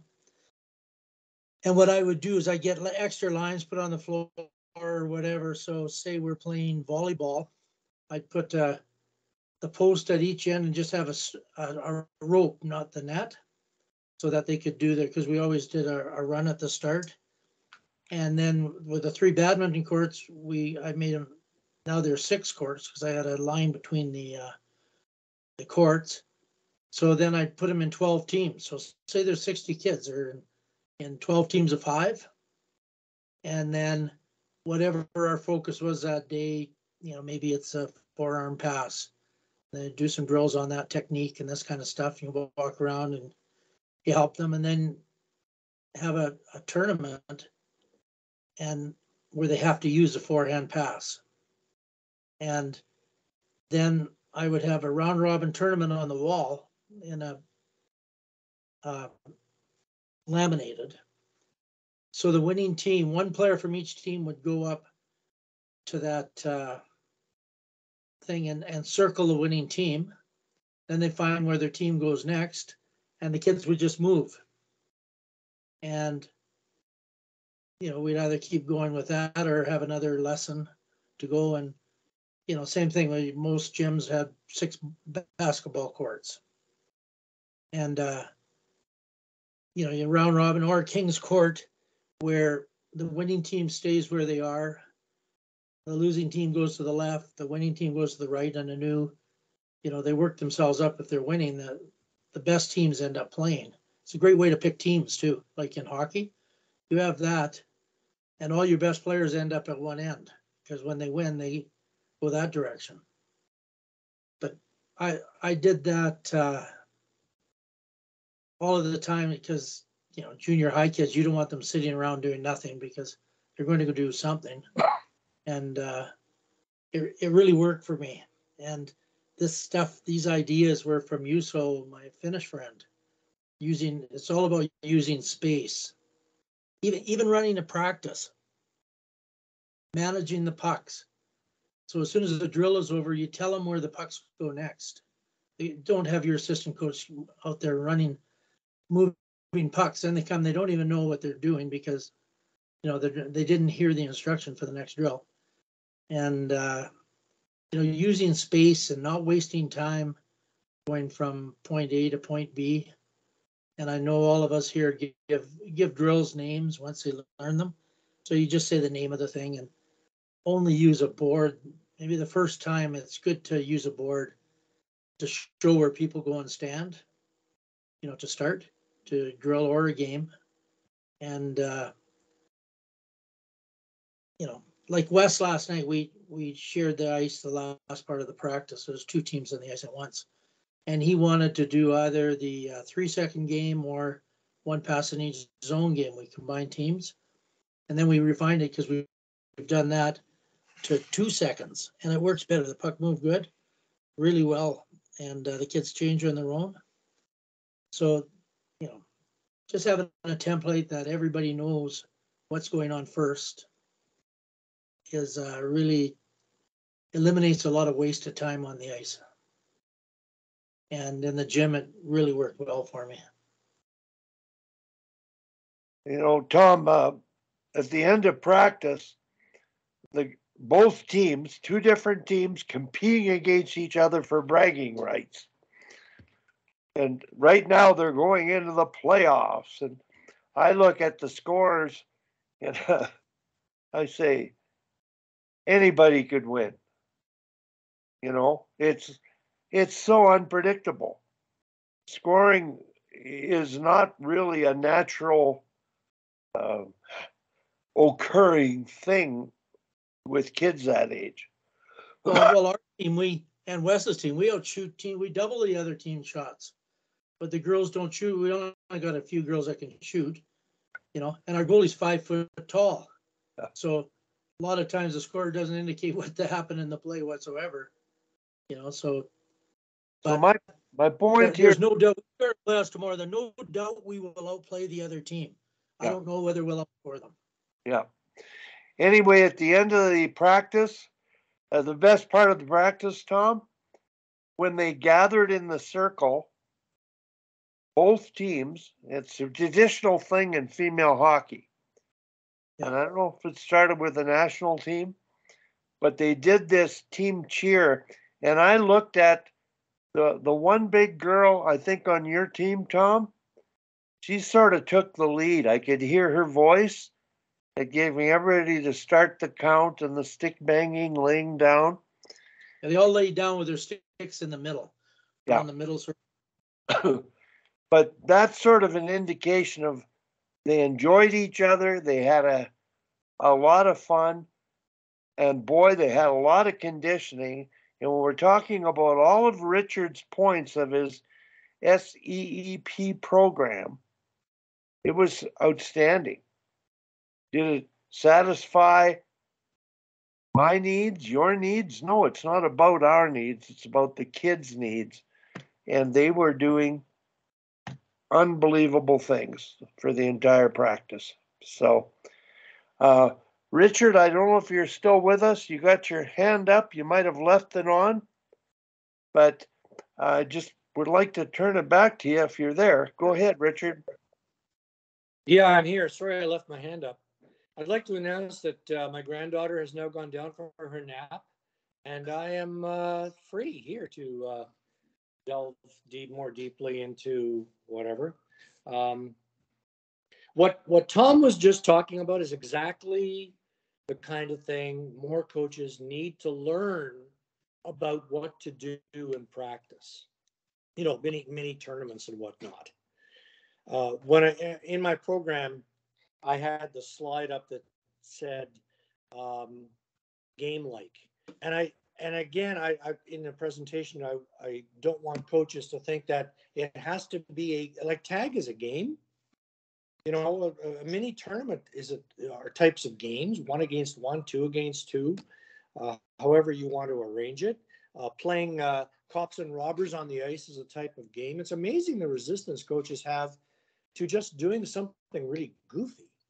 Like, have you ever done a, a game with your kids um, where they play with a, a, small football, you know, one of those little plastic footballs? Uh, and I, well, yesterday I we started with a soccer ball. There you go. So same thing, only different. So um, Cassie did it. Right, right, and and the kids love it, and it's a great equalizer. The kids with burning speed can't can no longer just fly by people. You you approach the game differently, and it's just fun. It it addresses each of those uh, six elements. Like I remember a video that Dave King did uh, in the early '80s when he was doing all that stuff for Hockey Canada. I think I've mentioned it. I don't know how many times before. The warm up to Team Canada's practice. 22 guys on the ice. They're playing 11 aside, and and Dave is skating up and down the boards, whistling. You know how he whistles with his with his fingers in his mouth, type of thing um, whistling and call, oh, a nice play. You know, it's a six on four break type of thing. It's that it was the warm up. I've said to coaches, why can't you do that? What's wrong with that? There's nothing wrong with it. It's awesome. Have some fun. Let go. You know. Yeah. Richard, I I want to. Uh, this is for Tom and Wes, who isn't with us. I've wanted to experiment with stuff that Dave did because he did it with the national team and it would work at that level unbelievably well, I feel. And the one game that he played, it was sort of his start the game warm up. I watched him do it with the Calgary Flames. I saw him do it with the national team. Tom, I would uh, I would ask you to do it with your teams both teams, if you practice together, the first activity after the goalies have had some shots is a three puck scrimmage, nine versus nine. We've done that. We've yep. done that a few practices this year. Yep. And I haven't seen it where you keep score out of if you get two out of three, the first team to get two goals in out of the three pucks wins. And the fun of it is they don't know whether they should attack or defend because there's three pucks. And Dave said if you use two pucks, it polarizes. You get a game going sort of at each end, and there isn't transition thinking in it. So much for the technical, boring stuff. Three pucks and fun. And the Calgary Flames were doing it, having a good time. And I think it was the third practice I observed. They dragged that game out. It got 18 minutes. They deliberately tried not to score so they could scrimmage.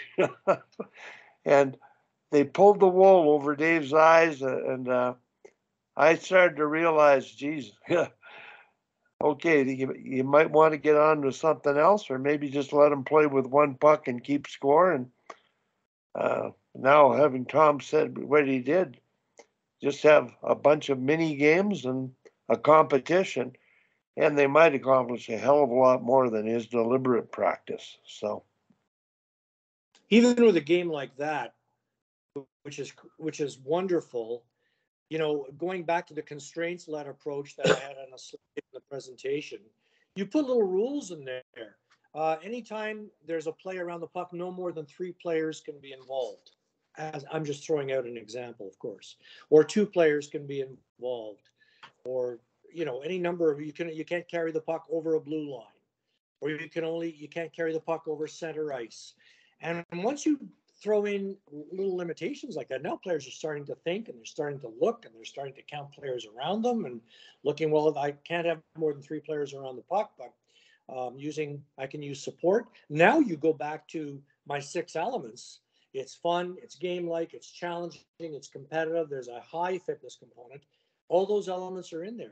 When I did this present, when I met with these Oshawa coaches last week, last Friday night, and I still remember it because I only had a beer and a half. Um, and um, one of the coaches, the, the head coach of the team, who's an outstanding coach, he's he's one of the best I've seen.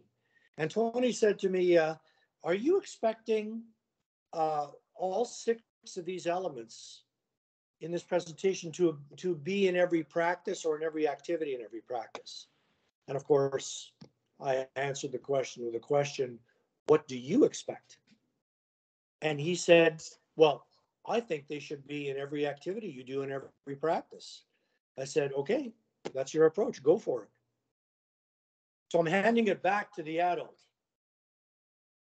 and th- this is a key principle of of what we need to do as leaders in the game is all right, what do you think? Why don't you go try it? Experience is the best teacher, but how do you get the experience? You don't try, you don't get.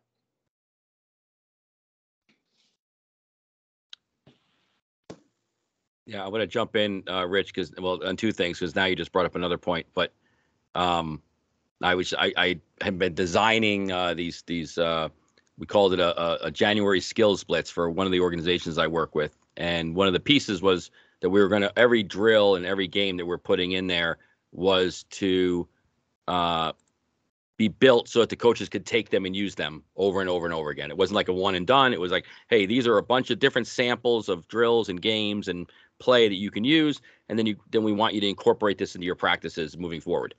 And you know to to your to you know to your conversation about letting adults be adults and and and be a coach which is the most exciting part about being on the ice with the kids is i had designed the drill i looked over i'm watching the coach he completely changed it it was the same concept though because in his mind he had to you know lack of a better term dumb it down for the six year olds and the skill level he was working with but this same concept was there and he's like, "Oh, I'm sorry, I moved the drill around." I go, "No, no, they're your kids. You know them better than anyone. You're you're in the drill. Like, don't keep doing something that's not working just because I'm giving it to you. You understood the concept. You were able to change it and fit it to the to the level you're at. So I think that's so important to allow coaches to just say, I can't just you know download a bunch of drills offline and try to fit them into my team. You have to use the the, the, the kind of the blueprint and the path and then cater to the group that you have. That's that's outstanding. And, and, and in fact, when I met with these guys last week, um, one of the people in the that we met with was an assistant coach on the team who doesn't have a lot of coaching experience, but a very bright fellow, businessman. And he said, I really like your stuff. I really like the presentation. I really like the content. Um, what about if you just give coaches, you know, drills and games to play? And I said, I've never done that. never going to do that. You don't learn how to coach by working from a recipe. Okay. Uh, teachers in a classroom have a curriculum, but how they teach it, how they package it, how they present it over the course of a semester or a year is an entirely different thing. You have to try these things. And if I just give you the recipe, you'll never learn how to do it. So with coaches, with the coaches I've worked with, I've often pointed them, frequently pointed them to the um, ADM site, admkids.com.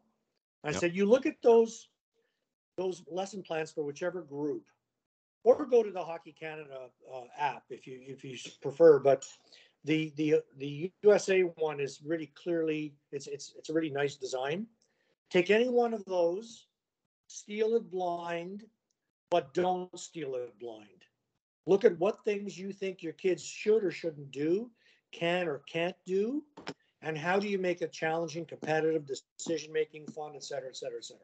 What can you do to address these six elements with that practice plan? There may be things in that practice plan you feel are completely inappropriate for your kids right now.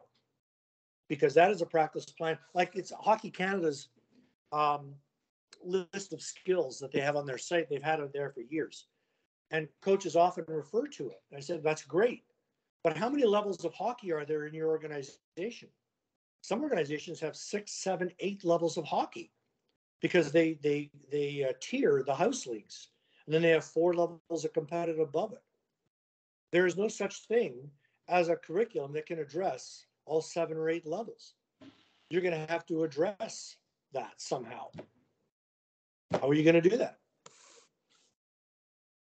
Richard, I totally agree. Observing that all year with one coach who's following that model. I want to get Tim. He's had his hand up for a while. Tim, please. Thanks, thanks, Wally. Uh, I mean, there's there's so much stuff to sort of unpack and everything here. I'm not sure um, one of two directions I want to go in, but if if we go, I'll I'll take the diversion uh, divergent path, I guess. If we go if we go all the way back when when we were talking before, sorry, that's my phone ringing. But um, if we go all the way back when Richard, you were talking early on about the game being whatever numbers you use 45% one on one, and a lot of it's two on two and three on three. And, and that that is very true. But like a lot of things, I think it's important that coaches recognize that the one on one or the two on two or the three on three is still happening within a context of a five on five game. And so, you know, and sort of bringing in the, the four rules of hockey, like, uh, and we talked about it before, like, I really love uh, Bill Beanie's PSB thing where you've got a person with the puck or a person on the puck defensively. And then you've got two people that are as supporting the puck offensively, defensively. And then you've got two other people who are the bees providing balance. And so I think it's really important that we keep the focus on the fact that it's a complex five on five game because really the way it's trending at the minor level now is away from the five on five play and what we see or we tend to see and this is just anecdotal and it's just um, sort of a subjective observation, is way more one-on-one play and way less Russian hockey five-on-five play for a vivid way to put it together, where you know somebody gets the puck and it's like one-on-one, and now you got four people watching instead of the old Tarasov thing that those four people watching are really what drive the game. What they do and how they react is what makes hockey what it is. That one person with the puck should be and needs to be dependent on those other four players to play the best hockey possible. So, although I agree that developing one-on-one skills is very important, uh, developing two-on-two, three-on-three close puck support is important, but let's not lose sight of the fact that it's still a five-on-five game, and that's the essence of hockey: is how the four players away from the puck cooperate with the one person that has the puck. So I just thought I'd kind of interject that as a way to maybe make sure we and we as collective coaches are, are thinking about the game the right way. I don't know if that. I agree sense. with you 100%. Except the, the only the only catch, the only fly in the ointment here is that with kids, and I'm going to say defining kids is up to about age 12, 13, roughly that there's way too much going on in a game to spend a ton of time with what goes on with players three, four, five on the ice, or maybe four five on the ice. Um, it's really difficult to do. Coaches are not equipped to figure out how to do that. But and not for a moment am I suggesting to spend your whole season on one against one, or spend half your season on one against one and two against two. No, no. Somewhere along the line, they have to learn how to play the game, what your other roles are, um, but we have to consider the age group. We have to bring it, bring ourselves back from our own experiences as coaches as, and players when we have a pretty good idea of what to do for the fourth or fifth player or the furthest player from the from the puck, you know, offensively or defensively. The kids can't think in those terms. I'm going back to this coach Tony that that I met with on Friday, and he did a, a I saw his practice before we went for for a beer and a half, and um, uh, he did a five against five D zone thing with all five defenders with reverse sticks using the butt ends. It looked a little bit chaotic to me looking from the outside. I asked him afterwards, "How did that go for you?" Now these are 13, 14 year old kids playing AAA, so they're pretty good, and it's a good team, and he's a great coach. He said, ah, some of it was good, some of it was not so good. What wasn't good? A lot of kids didn't know what to do. Now, this is February, or it was February, with all those things thrown in there. Great coach, experienced coach, knowledgeable, open minded. He did a half zone uh, inside the blue line, five on five. And about a third of those kids, from what I could see, maybe more of the of the ten, three or four just no clue. Is he a bad coach? Too much information. Rich, I'd like to I'd like to interrupt because I believe, and this is myself and my 50 years of experience, I get five on five play over in one minute. And then I get into what you're talking about. The claw forecheck is the one thing, and the claw is the same as a man on box behind in defensive cover. They learn to spread out to be first, second, or third to a situation within the framework of positioning. Done. And the kids get it better than teaching deliberate drills on the ice. Just holding your hand up. Steering with F1 one way and the other and width and depth. Read and act. End of story. Tim, go ahead.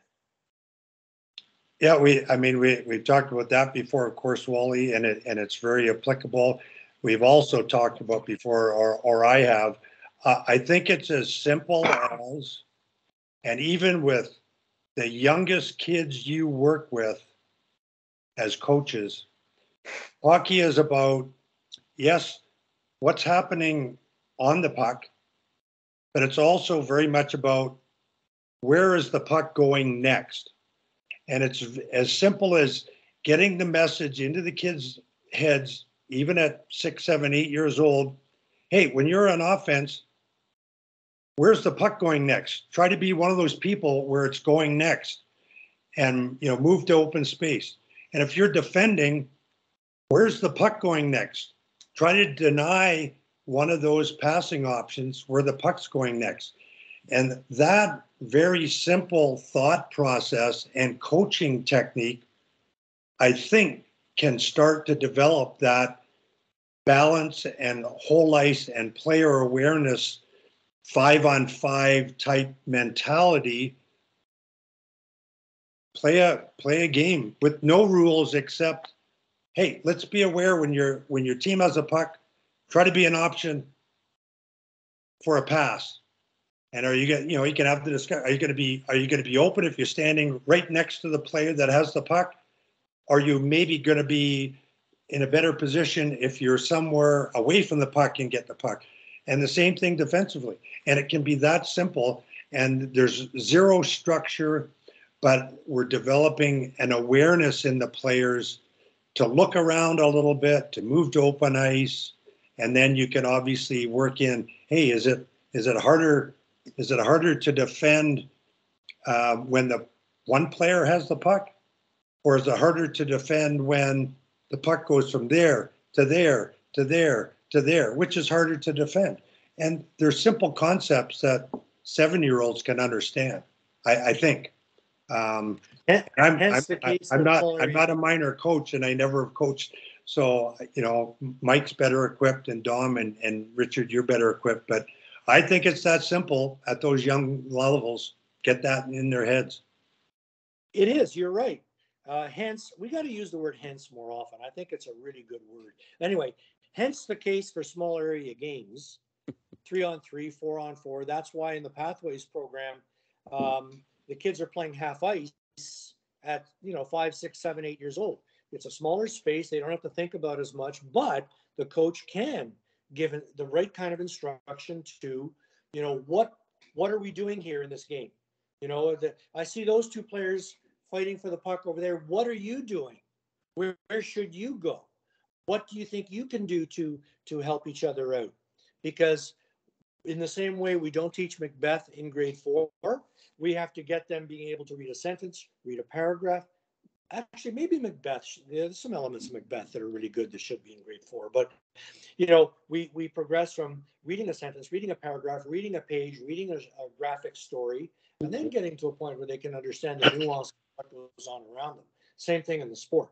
Like the mental acuity of these six, seven, eight, nine, ten year olds is just not there to be able to handle four and five players on a team. There's just too much going on. It's confusion. Okay and it's disorganized confusion. So you're right. Yeah, I absolutely, I agree with you 100%. And, and we should be doing that. But again, we all know it. The coaches don't know it. Who's going to show them? Richard. Yeah. And Mike. Rick. Rick's up. Rick. Rick, Rick, yeah, sorry. go ahead, Rick. Thanks, Wally. Just uh, want to hitchhike on a couple of things that I've heard so far. Um, with this group that it, I'm working with uh, more so than not uh, this year, um, I introduced to them the idea because they were playing one-on-one hockey all over the rink. They're a U18, 18. They're pretty skilled kids. Some of them fallen back from double A just for lack of positions. But I introduced to them George Kingston's 595 theory. Some of you may be aware of that, but for, on the idea that for all the time you're on the ice, you may have the puck by study 5% of that time. So in a, uh, a 60 minute game and three lines, you're on the ice for 20 minutes. You may have puck contact for one of those minutes. And the question is, what are you doing with the rest of that time? And I, I talked to them about that. And then last night, one of the coaches mentioned uh, something about battling, and the light bulb went off again. Um, how many battles are on the ice, fellas? We're always talking about battles, but it's usually around the puck. But in reality, there's four other battles going on. The four other skaters, goalie's left out in this particular illustration, they're in a battle with somebody for ice, space, time, getting into a position of support, getting into a position defensively of supporting the defense, taking away a pass option, taking away a player. So you got to start thinking in those terms. And and on the other side, earlier in the year, it, it, it came to me that these players are standing around watching the player with the puck, trying to figure out how they can fit in. And I started talking to them and to other coaches about getting those other four players to be drivers of the play, not the puck carrier. And by that I mean move yourself into a position, be available, be available to support. Support close, don't support halfway up the rink. The, just introducing these different thoughts into their heads to help explain things. And and I've been coaching for 40 years like like a lot of you, but the one last night was the first time I've ever really conceived it in that in that uh, that particular way. For what it's worth. Michael, Yeah, no, I, I mean, just just piggybacking on all this, it's just it's the same as when you know I, what I try to do, or I, what I do do, is work with these, especially the younger coaches that want to get, you know, uh, one of the one of the, the specialties that I'm in right now is just advising new skills coaches. Like they want to make money. Okay, well let's let's put together a plan where you can make money and be in an ethical environment to teach. So one of the things we try to do is like this one-on-one. You know, if you're working on a stride or working on, you know, a particular very technical aspect of a player's game, it's great to be one-on-one in the corner working on those things. But when you're working on team play, and co- what coaches will appreciate more is I don't uh, every drill and every game and every structure we put the kids in, it doesn't always end in a you know jump over the border, jump over the border, jump over the border, spin, spin, spin, shoot because it never happens. I mean, to, to your point, Rick, 5% of the time you have the puck in your stick, and less than that, you're shooting the puck. and I think, um, you know, so all the drills we try to put together for the kids is there's always an end game, but the other players aren't standing in line. They're they're in the drill. Like if it's a if it's a if it's a three or four player to coach ratio, it's all about okay, make the move. That's great. You know, make your little move, make your toe drag. That's it. You you've made the play. And now there has to be options. Is it a pass? Is it a shot? Is it is it do you come back and regroup? Is it a, a uh, you know a pass up to the point? So what we try to do is put those situations in so when they get into a game, uh, they can react with not just the intention of oh, I made a move, I'm shooting on the net, which never happens. They never get to do that. But maybe I can shoot and have some deception. I can shoot, have some delay. Uh, you know, I watch. Listen, I watch. We, you know, we've talked about this many times on this show or on this call. Is the amount of, like uh, the amount of times I watched what Marty St. Louis did before us in practice the last couple of years, and exactly what he's doing with his current team. It's exact same stuff. It's exact same drills. It's exact same games. It's the exact same concepts. They're just obviously at a at a higher tick, um, and they're probably done where he has to react and make them even more constraint based because the, the player's just smarter. They figure it out quicker. And I found that out when I was when I was working with the Connecticut Whale, and I was putting all these little constraint based games in. The women were just so good that they would get it too quick, and I have to go. Okay, we got to come up with it. We got we got to make this constraint a little harder and the thought process a little quicker. And but again, that's the uh, art of coaching. It's the the ability to see who you have and then react to it. But I think we get away from the one on one beating a deviator, and then walk, then sk- skating down the ice. Now we're in a we're in a much better place uh, to put ourselves in in in the situation that the kids are actually training in a game like environment. And I don't think we de- we definitely don't even in our st- small area station based drills we don't do enough of that. Hence, game like. I got to uh, interrupt here and add. Um, you said figure it out but let them figure it out. We don't. When I first coached, I didn't let them figure it out. It was all me, it was all direction, it was all telling. I didn't provide a framework within which they could think and make decisions. I told them what to do in situations. And I think the lesson I learned from a parent coach was he didn't have practices. He played games. And he patted him on the back and he looked for two things effort and respect.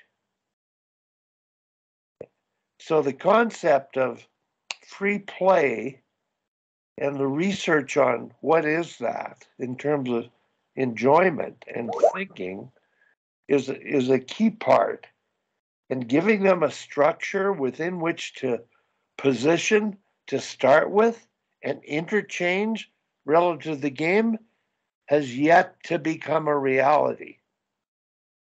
We're still north south. The pros are beginning to scissor from D to forward, but the game is still rudimentary compared to what it could become. So, Tim, go ahead. Yeah, thanks, Wally. I, I was just going to sort of piggyback on um, on on Rick's um, uh, 595 uh, George Kingston rule, and then as Mike was talking, it sort of occurred to me that it, it could be extrapolated not just from your general play, uh, like maybe you have to puck. I mean, five percent is probably generous, but uh, you maybe have the puck 5% of the time, might be in reality more like 1 or 2% of the time, but whatever it is. Um, and then when you get the puck, we probably also have a 595 situation where you might shoot the puck at the net 5% of the time. And the other 95% of the time that you actually touch the puck, you have to pass it protect it or stick handle with it. And this is all going to supporting what I, I know I missed last week, but supporting Al Andrews and our stick length thing. Everybody in the game now wants the big long stick because they can take the big shot and the hard snapper when in reality they get to use that skill so very, very precious little amount of the time they're they're playing the game, and they pass up better puck handling, better passing, better puck protection uh, by having a, a, more appropriately sized stick, like from the chin down. So I just thought I'd interject that. So we've got the 595 and then the 595 under the 595 or under the five. So it's the 595 five five ninety five or something like that. you guys are getting in the math now, so I got to leave. Yeah. But um, yeah. But, but it was great. Thanks, guys. Uh, Richard, nice hearing from you again. Awesome. Richard, uh, go ahead. We'll give you a t- chance to sort of summarize what you're doing and with all our thinking and bring things together because uh, I get so many responses from people at different levels of coaching uh, university coaches, minor hockey coaches, and there's many minor hockey coaches that are really listening to our show and they're applying things. So Richard, the, go go ahead. The the the purpose of my SEEP presentation um, is to get people thinking that uh, there are better ways to teach our kids. Coming from people who have coached for years or taught for years or researched this for years on skill acquisition and whatnot. We could argue till the cows come home on whether or not you should have pylons in the ice or don't have pylons in the ice. But uh, for the most for the most part. Most coaches are doing the same thing over and over and over again. Um, they get what they get. They'll have a good team if they have, you know, the right kids coming out, and they won't have a good team if they don't have the right kids coming out. You know, if you're in a small association, good luck. If you're in a large one, you have a better chance. Um, we can't compare what we do in minor hockey with what goes on uh, above minor hockey it's it's a fool's game to uh, to do that. Um, so I feel that the onus is on us, and I'm taking it upon myself to try it out here to um, to present coaches with some information, and then ask them, can you apply this? What do you if you don't like something, what is your opinion based on? Is it based on emotion? Is it based on we've always done it this way?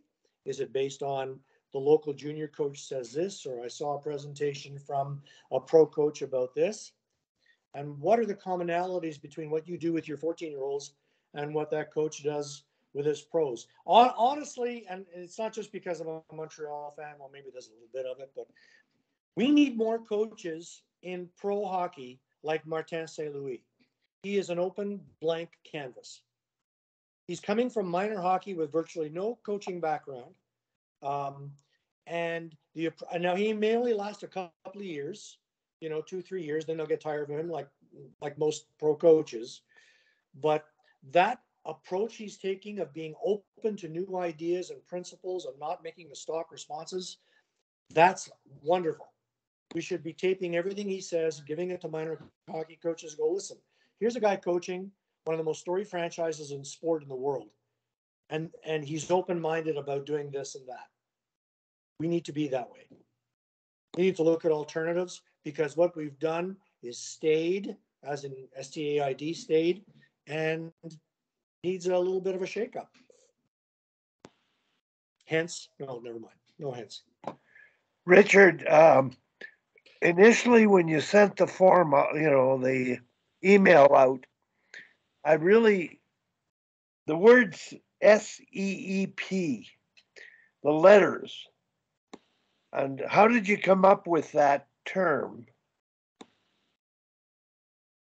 It seeped into his It's- it's brain one brilliant. day. It's- It's Okay. truly brilliant. I had a revelation. The lights got brighter. We went from 40 watt to 80 watt in houses. I just looked at what are the elements. I don't want to give coaches practice rules like you must do this and then you must do that and then you must do that.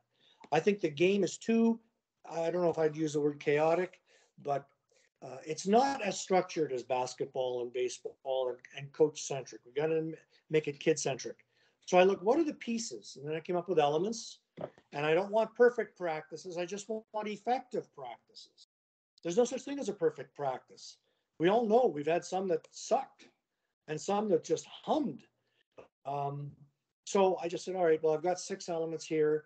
I stole a couple of ideas from uh, Hockey USA because they, this guy, Zach Nowak, had actually five elements, but they were somewhat different. So uh, being an unabashed, you know, kleptomaniac, I stole a little bit from him and stole from here, stole from there, and came up with this genius acronym. Like you have to admit, guys. I mean, come on.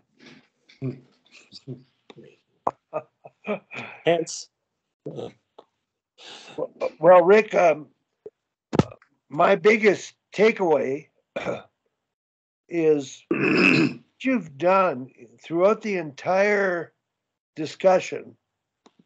You've mastered the art when you work with coaches of questioning. And I, I wish I could do that better.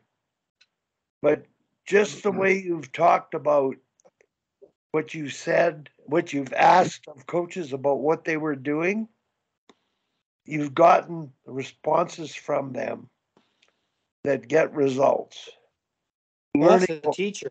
Those are teachers. We do that every day. Yeah.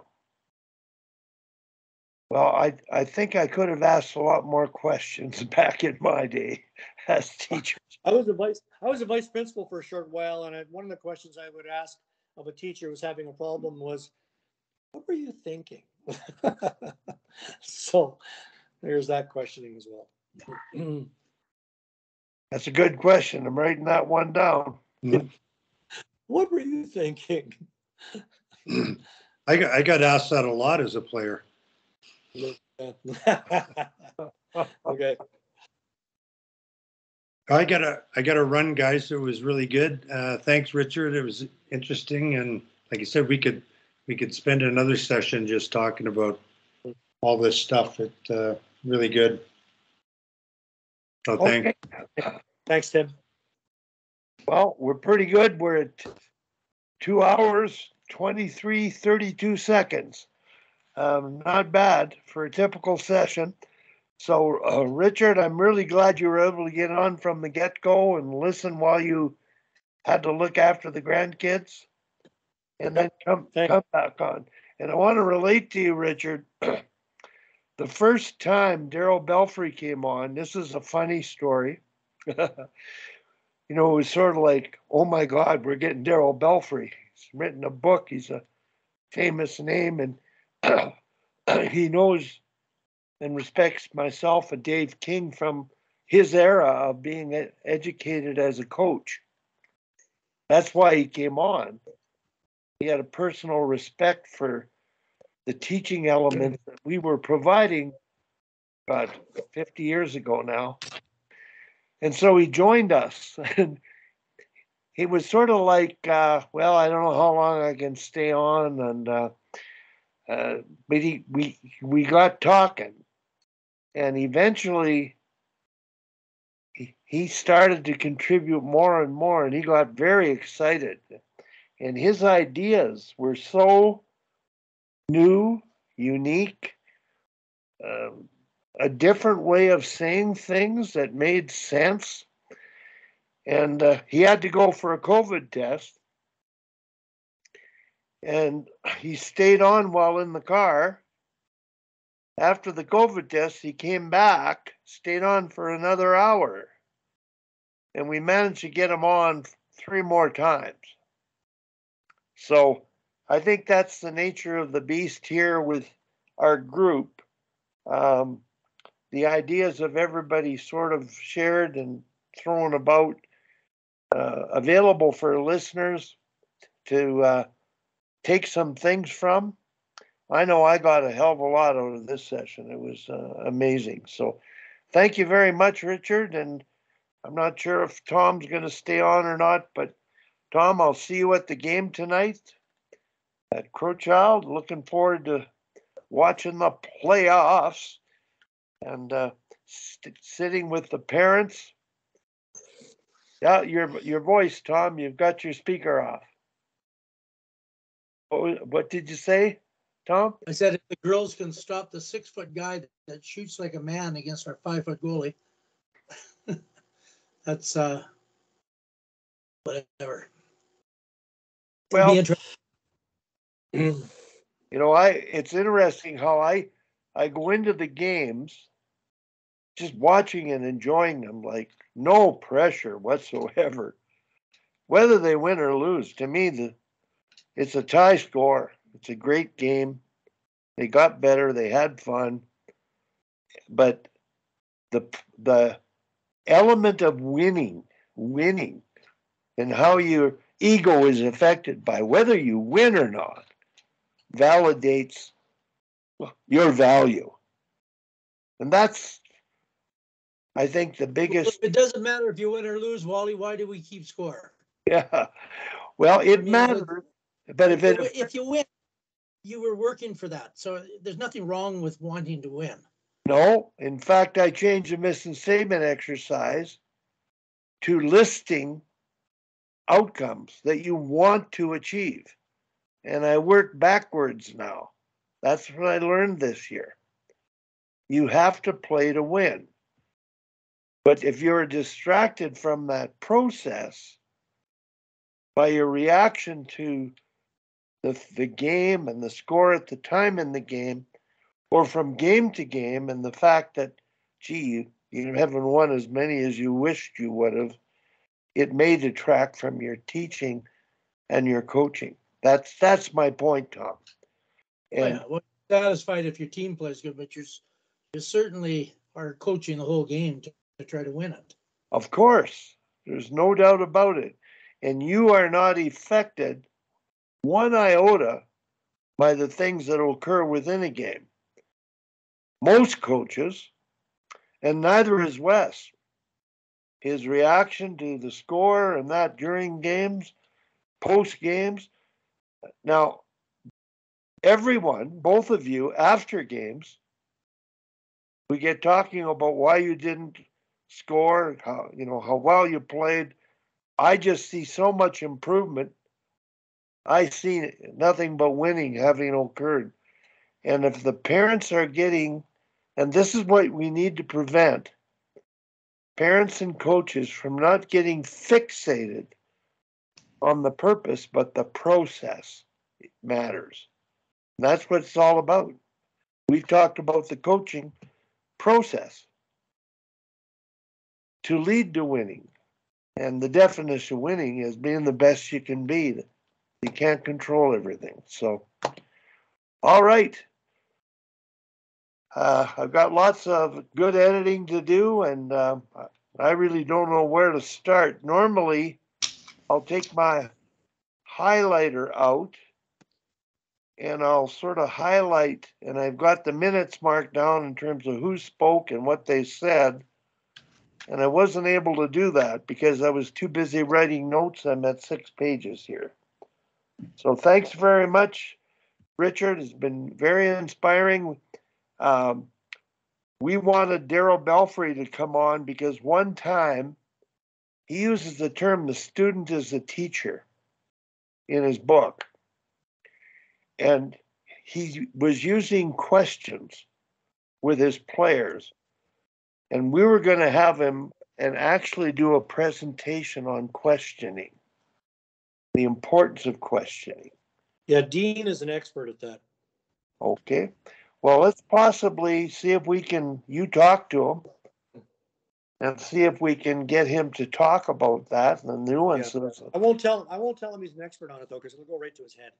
So. Okay. All right. Well, that's something to look at down the future and something I would like to get better at. And uh, Peter, we're just about to close off, Peter. I Just want to grab you real quick, say hi. I had a great uh, lunch with my son, so I'm sorry I had to scoot there, but it's really good. It's really, uh, it's really great to have things that stimulate your thoughts, different opinions. And uh, at the end of the day, we're all about trying to make the game better, then that's a good thing. Hence why we're here. There you go. All right. See you next week, guys. And uh, Thanks, guys. Thanks, Wally. take Bye. care, everybody. All right. Bye-bye. You all. Bye bye.